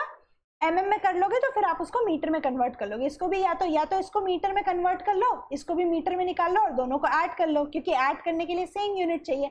अब देखो कैसे निकालोगे। ये मीटर क्यूब पर सेकेंड है। मतलब जब इसको आप एरिया से डिवाइड करोगे है ना? एरिया से डिवाइड करोगे मतलब क्या होगा? ये आपका मीटर स्क्वायर तो ये मीटर स्क्वायर और ये कैंसिल हो जाएगा। अब ये पर सेकेंड है है ना? पर यूनिट टाइम है। तो जब आप इसको टाइम से मल्टीप्लाई करोगे तो ये आपका किसमें आ जाएगा? मीटर में, है ना? मीटर को आप थाउज़ेंड से मल्टीप्लाई कर दोगे तो आपका किसमें आ जाएगा? ये एम mm में आ जाएगा। ठीक है माई डियर तो ये कैसे करोगे? टाइम कितना है? देखो आपको क्या बोला है? मंथ दिस मंथ तो वन मंथ जब आपको मेंशन नहीं किया है कि जून मंथ है या जुलाई मंथ है तो आप कितना लोगे? Thirty days one month is equal to thirty days लोगे, है ना? तो थर्टी डे अब आपको ये सेकेंड में है मीटर क्यूब पर सेकेंड तो थर्टी डे को आप कन्वर्ट करोगे पहले डे को कन्वर्ट करोगे आवर्स में आवर्स को कन्वर्ट करोगे मिनट्स में और मिनट्स को कन्वर्ट करोगे सेकंड में। तो देखिए कैसे होगा कन्वर्जन सबसे पहले तो ये सिक्स मीटर क्यूब पर सेकेंड है, इसको एरिया से डिवाइड करते हैं। ये आपका हो गया 5000 हेक्टेयर्स हेक्टेयर्स को मीटर स्क्वायर में करोगे तो टेन रेस टू दी 4 इसमें आपको कन्वर्जन ही अच्छे से समझना है, ठीक है? ये आपका 5000 हेक्टेयर्स है तो हेक्टेयर्स को आपको आपको किसमें कन्वर्ट करना है? मीटर स्क्वायर में। तो ये मैंने मीटर स्क्वायर में कन्वर्ट किया, ठीक है? तो ये आपका मीटर स्क्वायर नीचे से और ये मीटर क्यूब में से कैंसिल हो गया, आपका सिर्फ़ मीटर बचा। अब ये पर यूनिट टाइम है तो आपको टाइम से मल्टीप्लाई करना है तो इंटू थर्टी डेज़ है ना? और ये डेज़ में है, ये आपको सेकंड में कन्वर्ट करना है तो one day is equal to twenty four hour one hour is equal to sixty minutes and one minute is equal to sixty seconds ठीक है? और अगर आपको एम mm में चाहिए तो इंटू क्या कर दोगे? मीटर को अगर आपने एम mm में कन्वर्ट करना है तो इंटू थाउज़ेंड कर दोगे plus one forty five m m तो जब आप इनफ्लो निकालोगे तो जब आप इन दोनों को ऐड कर लोगे, तब आपका इनफ्लो आ जाएगा टोटल इनफ्लो किसी को डाउट है क्या कोई कन्वर्जन में?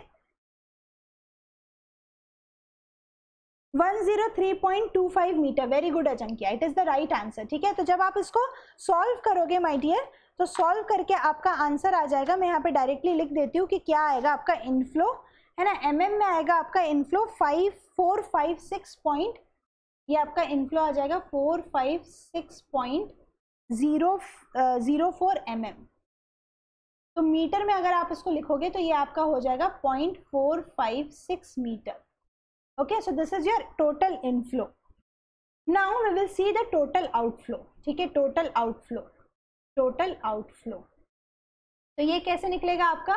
ये आपको दिया हुआ है। ओके तो देखिए ये आपका दिया है सिक्स uh, पॉइंट कितना दिया है? 6.5 और 6.1 सेंटीमीटर है ना? तो ये आपका 6.5 मीटर क्यूब पर सेकेंड है। तो फिर से इसको कन्वर्ट कीजिए। पहले आप एरिया से डिवाइड करोगे।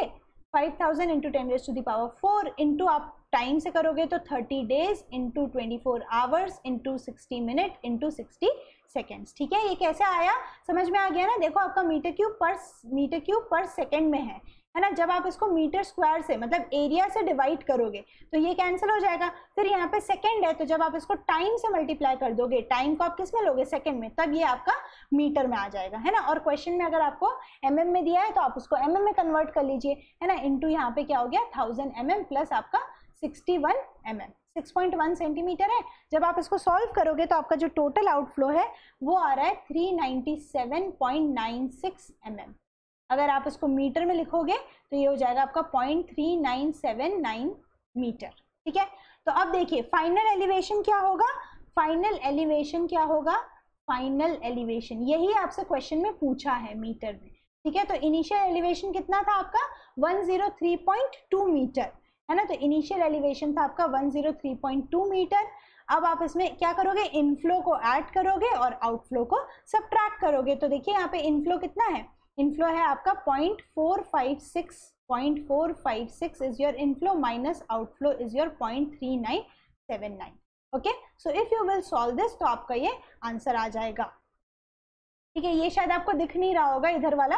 तो ये जो आंसर है, ये आएगा आपका final elevation is one zero three point two five eight metre तो this is your answer this is your final elevation तो इनिशियल वाले से पॉइंट ज़ीरो फाइव का ही थोड़ा सा ही डिफरेंस आया है है ना? अगर ये आपको दिख नहीं रहा होगा तो यहाँ पे मैंने सिर्फ़ टोटल आउटफ्लो लिखा है। ये वाली वैल्यूज़ तो आपको समझ में आ रही होगी कि ये 6.5 है प्लस यहाँ पे मैंने 61 वन mm किया है। ठीक है? तो होप इट इज़ क्लियर कोई डाउट है कि यहाँ पे? So then we will go to the next question. ठीक है we will proceed to the next question hope इस क्वेश्चन में कोई डाउट नहीं होगा। देखिए, मैं यहाँ पे लिख देती हूँ उसको 6.5 point five into thirty into twenty four into sixty into sixty divided by five thousand into ten raise to the power four right plus आपका 6.1 सेंटीमीटर इसको भी अगर आप सेंटीमीटर में कन्वर्ट कर रहे हो तो सेंटीमीटर में आ जाएगा एम mm में करना है तो ये ये आपका वैल्यू आ जाएगा। ठीक है, जैसे आपने किया, वैसे ही है। होप इट इज़ क्लियर अब हम नेक्स्ट क्वेश्चन देखते हैं, ठीक है? ये नेक्स्ट क्वेश्चन आपका गेट 2015 में आया है, बहुत ही इंपॉर्टेंट क्वेश्चन है, ठीक है? जो आपको नहीं दिखेगा, मैं आपको क्वेश्चन अच्छे से पढ़ रही हूँ, आप आप देख लीजिएगा, ठीक है? क्या है यहाँ पे? देखो the average surface area of the reservoir in the month of June is ठीक है? तो कोने में लिखा हुआ है in the month of June कोने में लिखा हुआ है in the month of June is ठीक है, जून दिया हुआ है तो जून का महीना कितने दिन का होता है? तीस दिन का तो इसमें तो आपको क्लियरली मेंशन है। इस twenty kilometre square in the same month the average rate of inflow तो आपको रेट ऑफ़ इनफ्लो दिया हुआ है। Rate of inflow is rate of inflow is ten metre cube पर सेकेंड रेट ऑफ़ इनफ्लो आपको दिया हुआ है 10 मीटर क्यूब पर second and outflow rate is 15 cumec तो आपको रेट ऑफ़ आउटफ्लो दिया हुआ है, कितना दिया हुआ है? 15 मीटर क्यूब पर सेकेंड ठीक है मंथली रेनफॉल इज़ 10 सेंटीमीटर आपको बोला है यहाँ पे कि मंथली रेनफॉल जो है वो कितनी है? 10 सेंटीमीटर की है।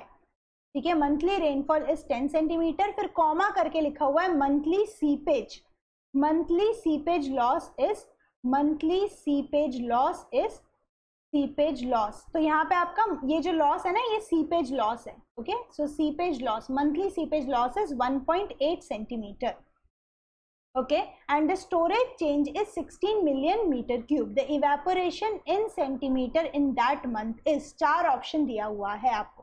ठीक है? तो देखो, आपको इनफ्लो दिया हुआ है आउटफ्लो दिया हुआ है, आपको इवेपोरेशन पूछा है। आपको इवेपोरेशन तो इवेपोरेशन क्या है? लॉस है।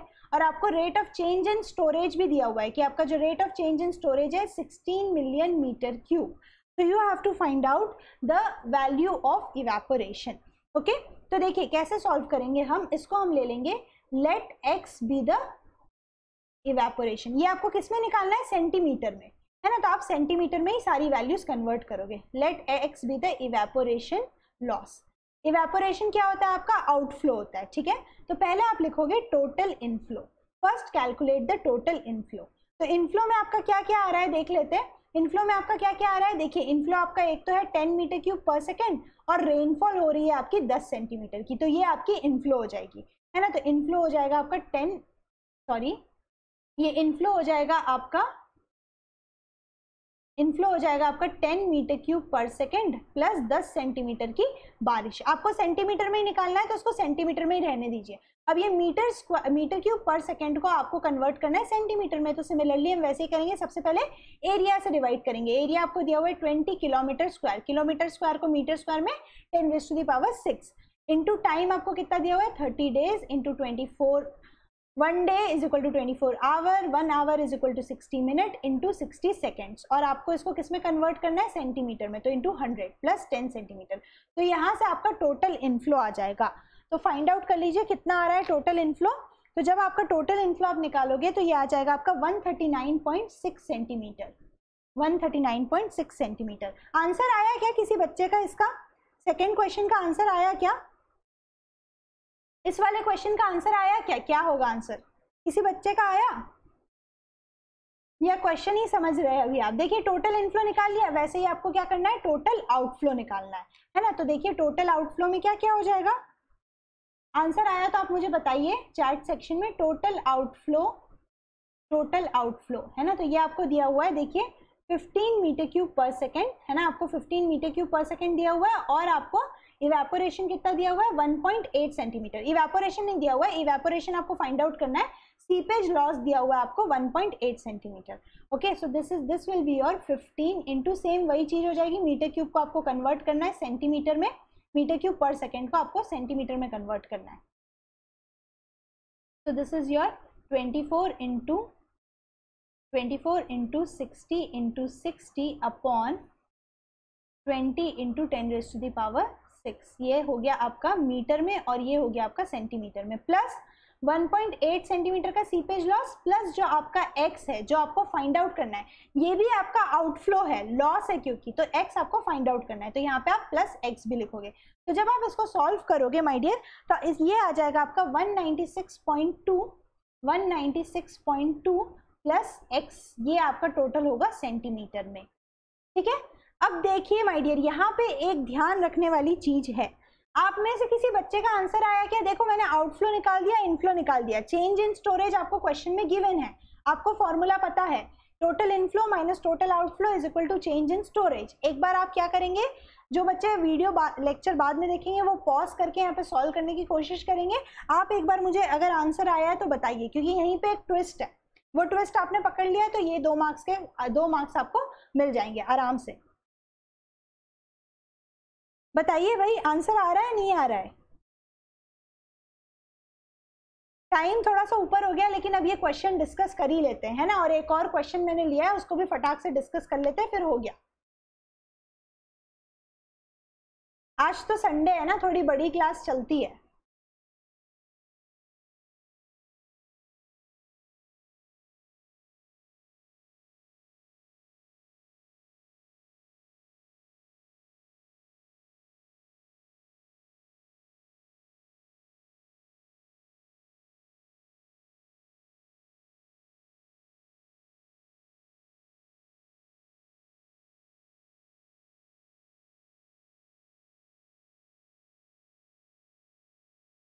Tell me the answer now. What is the answer? Answer नहीं आ रहा है क्या माय डियर बताइए आंसर क्या होगा? कोई रिप्लाई नहीं आ रहा है आई थिंक चलिए, देख लीजिए, मैं मैं ही बता देती हूँ क्या होगा इसका आंसर तो आपने देखिए टोटल इनफ्लो अब यहाँ से देखिए एक इंपॉर्टेंट पॉइंट जो आपको नोटिस करना है. ठीक है? देखिए, आपका जो इनफ्लो है वो 139.6 सेंटीमीटर है. ठीक है? और जो आपका आउटफ्लो है वो 196 ऑप्शंस ये है options A B C D this are the options 46.8, 136, 13.6 या 23.4 इन सेंटीमीटर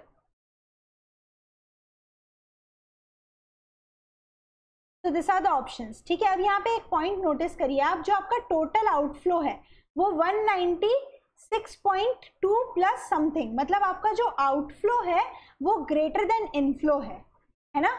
आपका जो टोटल आउटफ्लो है, यहाँ से देखिए, जो आपका टोटल आउटफ्लो है is greater than total inflow. आपका इनफ्लो से जो आउटफ्लो है, वो बड़ा है। राइट? right? तो इस केस में आपका क्या होगा? जो स्टोरेज है, no, you didn't get the answer. Okay, I tell you. जो आपका स्टोरेज है, वो डिक्लाइन हो रहा है। देखिए, यहाँ पे आपका आउटफ्लो जो है, वो बड़ा है इनफ्लो से। ये आपको समझ में आ रहा है? है ना कि आपका जो आउटफ्लो है, वो बड़ा है इनफ्लो से? क्योंकि देखिए 196 है, ये 1 139 है, इसमें प्लस कुछ और हो रहा है। मतलब जो पानी जो लेक से बाहर निकल रहा है, वो ज़्यादा है एज कंपेयर टू जो अंदर आ रहा है। मतलब जो आपका स्टोरेज है, वो डिप्लीट होगा।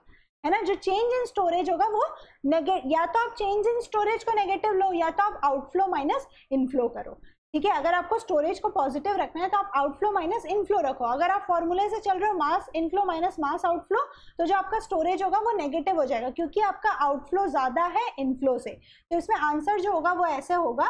देखिए, अगर मैं आपका टोटल इनफ्लो अगर मैं ऐसे लेती हूँ total inflow minus total outflow total inflow minus total outflow it will be equal to minus delta s why because your outflow is greater than inflow obviously अगर outflow ज़्यादा होगा तो storage में क्या होगा depletion होगा right so inflow की value कितनी आई थी 139 139.6 सेंटीमीटर ठीक है ये आपका आया था 139.6 सेंटीमीटर माइनस ये हो गया आपका 192.6 यही था ना 196.2 196.2 plus x minus your change in storage तो देखिए, ये आपका सेंटीमीटर में, ये भी आपका सेंटीमीटर में तो इसको भी आपको 16 मिलियन मीटर क्यूब सो इसको भी आपको सेंटीमीटर में कन्वर्ट करना पड़ेगा। ठीक है तो ये मिलियन है तो ten raise to the power six हो गया, ये मीटर क्यूब है। मीटर क्यूब को आपको किसमें कन्वर्ट करना है? सेंटीमीटर में, है ना? मीटर क्यूब है ये आपका तो इसको आपको सेंटीमीटर में कन्वर्ट करना है। तो आप इसको कन्वर्ट कर लीजिएगा सेंटीमीटर में, तब ये आपका आंसर आ जाएगा। ठीक है मिलियन मीटर क्यूब है। इसको आपको देखिए सेंटीमीटर में कन्वर्ट करना है प्लस ये मीटर क्यूब है। तो आप कैसे करोगे? एरिया से डिवाइड करोगे। एरिया आपका कितना है? Twenty ten raise to the power six तो ये आपका मीटर में आ गया सेंटीमीटर में कन्वर्ट करना है तो इंटू हंड्रेड ठीक है तो जब आप उसको सॉल्व करोगे तो इसमें आपकी एक्स की वैल्यू निकल के आ जाएगी। ये शायद आपका एट्टी आता है। ठीक है, ये ये सॉल्व करके देख लीजिएगा, आपका एटी सेंटीमीटर आएगा ये आपका। This will be your minus eighty centimetre ये जब आप सॉल्व करोगे तो ये आपका माइनस एटी सेंटीमीटर आ जाएगा। Option is option is not B my dear Ajinkya your answer is wrong option आपका x की वैल्यू आएगी 23.4 सेंटीमीटर यही बच्चे गलती करते हैं, इसीलिए मैंने ये क्वेश्चन लिया।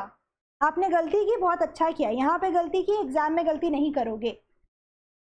Answer is option D not option B okay because you will take minus delta S अगर आप आउटफ्लो माइनस इनफ्लो करोगे तो प्लस ले सकते हो, क्योंकि यहाँ पे स्टोरेज जो है वो डिप्लीट हो रहा है। Right so answer is your option D not answer is B this is your correct answer 13.6 नहीं है 136 भी नहीं है। Clear any one is having any doubt क्योंकि देखिए, इसमें आउटफ्लो जो है, यहाँ से देखिए आप आउटफ्लो जो है वो आपका ज़्यादा है।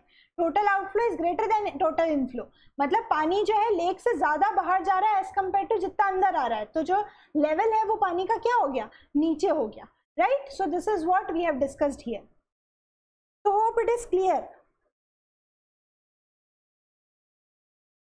तो स्टोरेज चेंज का नेचर नहीं दिया है। ठीक है, आपको स्टोरेज चेंज का नेचर नहीं दिया हुआ है। है ना? जिनके आपको क्वेश्चन में बोला है कि जो स्टोरेज चेंज है वो 16 मिलियन मीटर क्यूब है। नेचर नहीं दिया हुआ है, कोई बात नहीं, आपने इनफ्लो कैलकुलेट किया। देखो, आपने इनफ्लो कैलकुलेट किया, ये 139.6 सेंटीमीटर है। आपने आउटफ्लो भी फाइंड आउट किया तो देखो आउटफ्लो कितना है 196 this value itself is greater than this 139 मतलब आपका, ये देखो, ये लेक है, ये कोई आपकी वाटर बॉडी है है ना? इसमें से अगर आपका आउटफ्लो जो है, वो ज़्यादा है as compare to your inflow तो ये जो स्टोरेज है, ये आपका डिप्लीट होगा ना?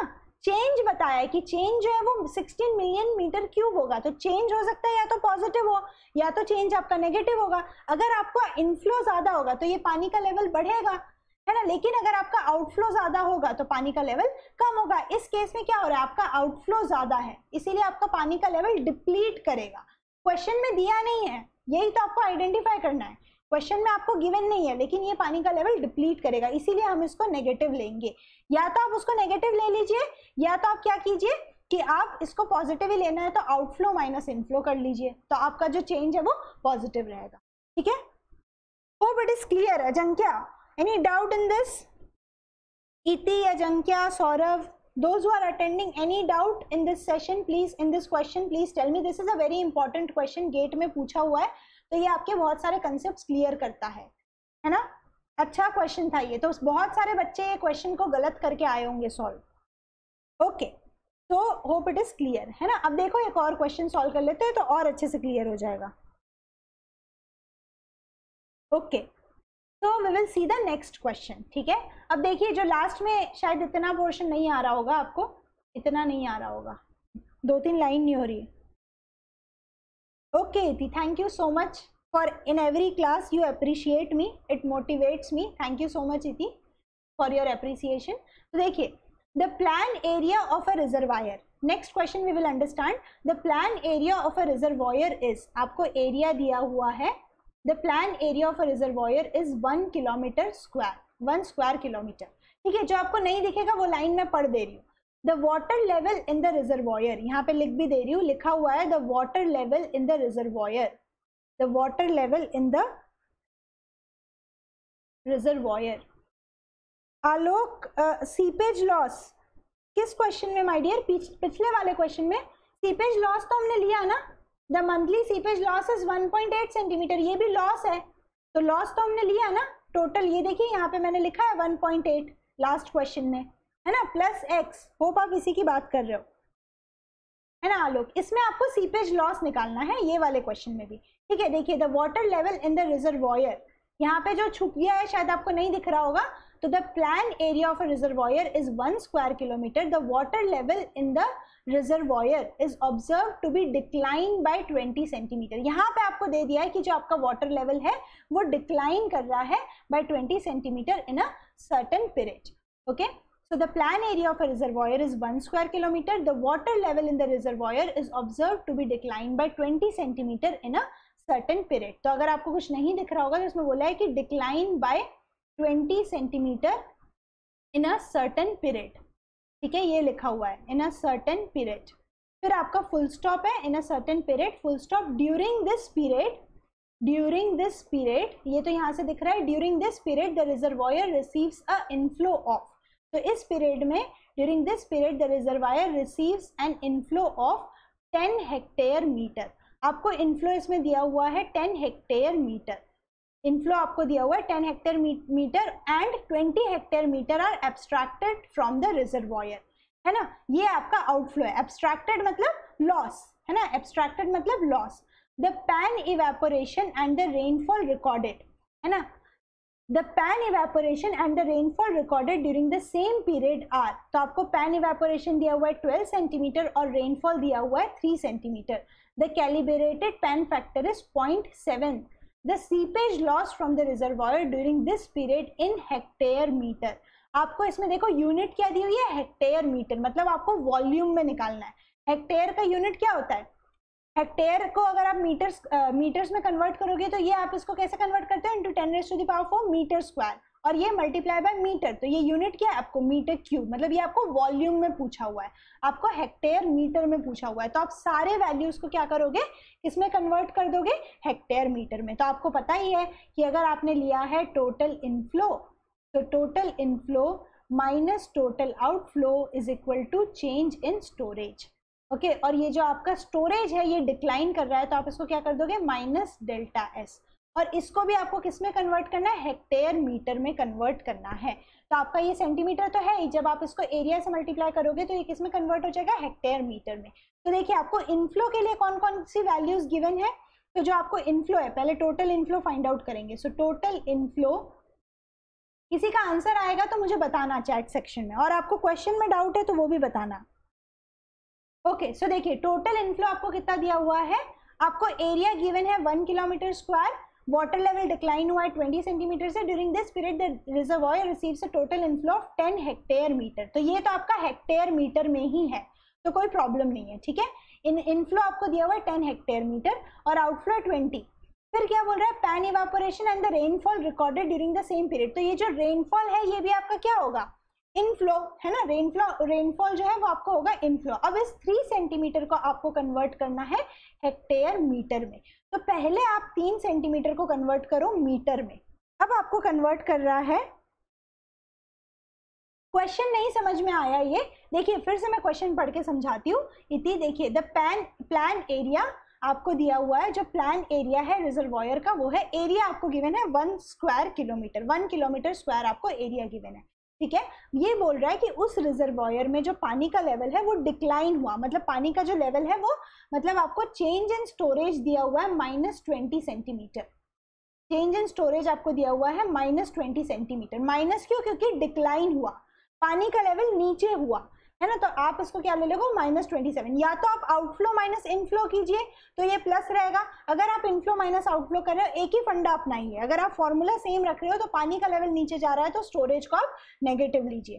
ठीक है? इन अ सर्टन पीरियड फिर ड्यूरिंग दिस पीरियड इसी पीरियड के दौरान जो रिजर्वायर है, उसमें इनफ्लो कितना हो रहा है? टेन हेक्टेयर मीटर इसमें सिर्फ़ यूनिट आपको अलग दी हुई है। जैसे उसमें आपको inflow metre cube per second में दिया रहता था, इसमें आपको हेक्टेयर मीटर में दिया हुआ है। और ट्वेंटी हेक्टेयर मीटर जो है, वो आउटफ्लो है। एब्स्ट्रैक्टेड मतलब outflow The pan evaporation and the rainfall recorded during the same period are 12 centimeter and 3 centimeter. देखिए, इसमें आपको pan evaporation given है। लेकिन एक्चुअल में आपको क्या लेना होगा? लेक इवेपोरेशन तो आप क्या करोगे? अगर आपको लेक इवेपोरेशन निकालना होता है तो क्या करते हो? CP into pan evaporation CP की वैल्यू आपको यहाँ पे कितनी गिवन है? पॉइंट सेवन है ना? The calibrated pan factor is point seven तो इवेपोरेशन क्या होता है आपका? लॉस होता है तो वो आउटफ्लो में आ जाएगा। और रेनफॉल क्या होता है आपका? इनफ्लो होता है तो वो इनफ्लो में आ जाएगा। और आपको क्या निकालना है? सीपेज लॉस निकालना है from the reservoir during this period और सीपेज लॉस आपको यूनिट क्या होना चाहिए? हेक्टेयर मीटर ठीक है तो आपको सीपेज लॉस निकालना है। तो देखिए, अभी देखते हैं। अब ये देखो, आपका टेन हेक्टेयर मीटर है, इसको भी आपको हेक्टेयर मीटर में कन्वर्ट करना है। तो ये थ्री सेंटीमीटर है। पहले इसको मीटर में कन्वर्ट करो। थ्री सेंटीमीटर को मैंने मीटर में कन्वर्ट किया। ठीक है, अब ये अब ये किसमें आ गया? मीटर में आ गया। अब आपको इसका हेक्टेयर चाहिए। तो हेक्टेयर मतलब आप किससे मल्टीप्लाई करोगे? वन किलोमीटर स्क्वायर ठीक है किलोमीटर स्क्वायर को मीटर स्क्वायर में कन्वर्ट करोगे तो ten raise to the power six हो जाएगा। ठीक है तो ये आपका आ जाएगा टोटल इनफ्लो यहाँ से अगर आप फाइंड आउट करेंगे तो आपका टोटल इनफ्लो निकल के आ जाएगा। ठीक है, अब देखिए, ये आपका किलोमीटर स्क्वायर में है। ये वन किलोमीटर स्क्वायर है। इसको आपने मीटर स्क्वायर में कन्वर्ट किया। ठीक है, ये आपका वन किलोमीटर स्क्वायर था टेन रेस पावर सिक्स किया तो मीटर स्क्वायर लेकिन आपको यूनिट क्या चाहिए? हेक्टेयर मीटर ये तो आपका मीटर में हो गया। तो हेक्टेयर में कन्वर्ट करने के लिए क्या करोगे? Ten raise to the power four तो होप ये यूनिट कन्वर्जन आपको क्लियर हुआ होगा। तो यहाँ से आपका टोटल इनफ्लो आ जाएगा हेक्टेयर मीटर में। जब आप इसको सॉल्व करेंगे तो आपका टोटल इनफ्लो आ जाएगा हेक्टेयर मीटर में। जो भी वैल्यू आ रही है वो यहाँ पे पुट कर लीजिए। ठीक है? यहाँ तक किसी को कोई डाउट कि यूनिट कन्वर्जन कैसे कैसे हुआ? वेरी गुड अजन किया very good 4.6 is the correct answer hope इतनी आपको समझ में आ गया होगा क्वेश्चन देखिए हमें हेक्टेयर मीटर में कन्वर्ट करना है, ठीक है? तो ये आपको सेंटीमीटर में दिया है तो पहले मैंने सेंटीमीटर को मीटर में कन्वर्ट किया डिवाइडेड बाय हंड्रेड तो ये हो गया आपका मीटर ठीक है, अब आपको दिया हुआ है हेक्टेयर हेक्टेयर किसका यूनिट है? एरिया का यूनिट है तो एरिया से मल्टीप्लाई करोगे तो कितना दिया हुआ है एरिया आपको वन किलोमीटर स्क्वायर तो इस वन किलोमीटर स्क्वायर को मैंने मीटर स्क्वायर में कन्वर्ट किया. वन किलोमीटर स्क्वायर को मीटर स्क्वायर में कन्वर्ट करने के लिए into ten to the power six अब इस मीटर स्क्वायर को आपको किसमें कन्वर्ट करना है? हेक्टेयर्स में। तो हेक्टेयर्स में कन्वर्ट करने के लिए divided by ten raise to the power आपका फोर हो जाएगा। सो so, ये आपका कन्वर्ट हो गया हेक्टेयर्स में। तो ये आंसर आ जाएगा आपका यहाँ से टोटल इनफ्लो ठीक है, आप ये कैलकुलेट कर लेना कितना आ रहा है। जो भी वैल्यू आ रही है point zero three into ten raise to power six divided by कर लीजिएगा आप सॉल्व तो आपका आंसर आ जाएगा। जितना भी आ रहा हो आंसर यहाँ पे पुट कर लीजिएगा, ठीक है? शायद थर्टीन आ रहा होगा ये। अब आप देखिए टोटल आउटफ्लो निकालिए आप टोटल आउटफ्लो तो your total outflow will be equal to कितना दिया हुआ है? ट्वेंटी हेक्टेयर मीटर देखिए, ये twenty hectare metre plus twelve centimetre आपका क्या है? देखो, आपको लेक इवेपोरेशन लेना है और आपको पैन इवेपोरेशन का फैक्टर कितना दिया हुआ है? पॉइंट सेवन तो point seven into evaporation loss ठीक है, ये सेंटीमीटर में इसको कन्वर्ट कर लिया। हमने मीटर में into one into ten raise to the power six divided by ten raise to the power four plus आपका सीपेज लॉस यही आपको फाइंड आउट करना है सीपेज लॉस या तो आप इसको एक्स ले लीजिए, ठीक है? अब देखिए, ये क्या हो गया? Total inflow total inflow minus total outflow is equal to change in storage change in storage कितना है आपका? 20 centimetre so minus twenty centimetre, इसको भी आप कन्वर्ट कीजिए हेक्टेयर मीटर में, है ना? Minus twenty divided by hundred into one into ten raise to the power six divided by ten raise to the power four है ना? क्योंकि हेक्टेयर मीटर में चाहिए। इनफ्लो कितना था आपका? इनफ्लो कितना था आपका? जितनी भी वैल्यू आई आपकी इनफ्लो की, वही यहाँ पे पुट कर लीजिए। Ten plus ten plus three into three three by hundred into one into ten raise to the power six divided by ten raise to the power four ठीक है, यहाँ से आप ये किया, फिर यहाँ से आपने माइनस टोटल आउटफ्लो किया तो आउटफ्लो आपका twenty plus point seven into twelve divided by hundred into ten raise to the power one into ten raise to power six divided by ten raise to the power four ठीक है plus seepage loss ये आपको find out करना है। Minus यहाँ पे जो भी वैल्यू आई आपकी, ठीक है तो ये आपकी हेक्टेयर मीटर में आ जाएगा। So minus twenty by hundred into ten raise to the power six upon into ten raise to the power six upon ten raise to the power four तो जब आप इसको सॉल्व करोगे तो आपका सीपेज लॉस जो है वो आएगा four point six hectare metre so आप जब सॉल्व करोगे तो इसकी आंसर आ जाएगी आपकी four point six hectare metre exact आएगा ये four point six hectare metre unit जो है आपकी हेक्टेयर मीटर में आ जाएगी। ठीक है, या तो पहले आप उसको कन्वर्ट कर लीजिए मीटर में। Very good Nayan. Krishna Sagar very good तो इति क्लियर हो गया क्या? आपको डाउट है क्या इति? तो बताइए इसमें। और किसी भी बच्चे को डाउट है? नयन का आंसर आ गया अजंक्या का आंसर आ गया वेरी गुड और किसी को डाउट है इसमें तो बताइए। तो ये देखिए, ये भी आपका गेट का क्वेश्चन है है ना? ये भी आपका गेट 2003 का क्वेश्चन है। गेट 2003 का क्वेश्चन है। ठीक है, अगर आपने पहले वाले क्वेश्चन में गलती की तो वेरी गुड शायद अब आपको, अगर इस कंसेप्ट से कहीं पे भी क्वेश्चन आएगा तो आपको हमेशा ध्यान रहेगा कि कैसे कन्वर्ट करना है। तो हर टाइप के क्वेश्चन मैंने आपको इसमें करा दिए। Iti tell me if there is any doubt in this question अगर डाउट है तो बताइए। है ना, आप ये वैल्यूज़ कैलकुलेट कर लीजिएगा। मैंने कैलकुलेट नहीं किया, आप कैलकुलेट करके पुट पुटअप कर लीजिएगा। 4.6 आ रहा है 4.6 इज़ द करेक्ट आंसर ठीक है, इसमें आपको डायरेक्टली डिक्लाइन दे दिया था, इसलिए हमने माइनस ले लिया यहाँ पे। Any doubt okay very good चलिए तो आज का सेशन हम यहीं रैपअप करते हैं, है ना? तो आज की क्लास में जो भी हमने डिस्कस किया, उसको फटाफट एक बार समराइज कर लेते हैं, है ना? जो भी आज हमने डिस्कस किया, उसको समराइज कर लेते हैं। और भी मैंने चीज़ें सोची थी पढ़ाने की तो चलिए इसको समराइज कर लेते हैं। तो whatever we have studied today आज हमने पढ़ा इवेपोरेशन के बारे में, है ना? फैक्टर्स पहले देखे इन्फिल्ट्रेशन के। उसमें सबसे ज़्यादा इंपॉर्टेंट है इम्पैक्ट ऑफ़ रेन ड्रॉप तो अगर आपका इम्पैक्ट ऑफ़ रेन ड्रॉप ज़्यादा होगा तो आपका इनफिल्ट्रेशन कम होगा। ऐसा क्यों होगा? क्योंकि वो क्या करेगा? It will displace the fine particles and it will clog the pores तो आपका इसीलिए आपका अर्बन लैंड में इन्फिल्ट्रेशन कम होता है रूरल लैंड में आपका इन्फिल्ट्रेशन ज़्यादा होता है। तभी अगर आप गाँव में कुआँ खोदते हो तो आपको तुरंत पानी मिल जाता है लेकिन अगर आप शहर में बोर खोदना चाहते हो तो आपको बहुत मीटर तक जा, अंदर जाने के बाद भी आपको पानी नहीं मिलता है। ठीक है ये हमने इवेपोरेशन इन्फिल्ट्रेशन के फैक्टर्स देखा थे फिर हमने इवेपोरेशन और इवेपोरेशन के फैक्टर्स हमने लास्ट क्लास में देखे थे आज हमने देखा एस्टिमेशन ऑफ़ इवेपोरेशन तो अगर आपको शॉर्ट नोट में लिखना है तो आप क्या क्या लिख लोगे?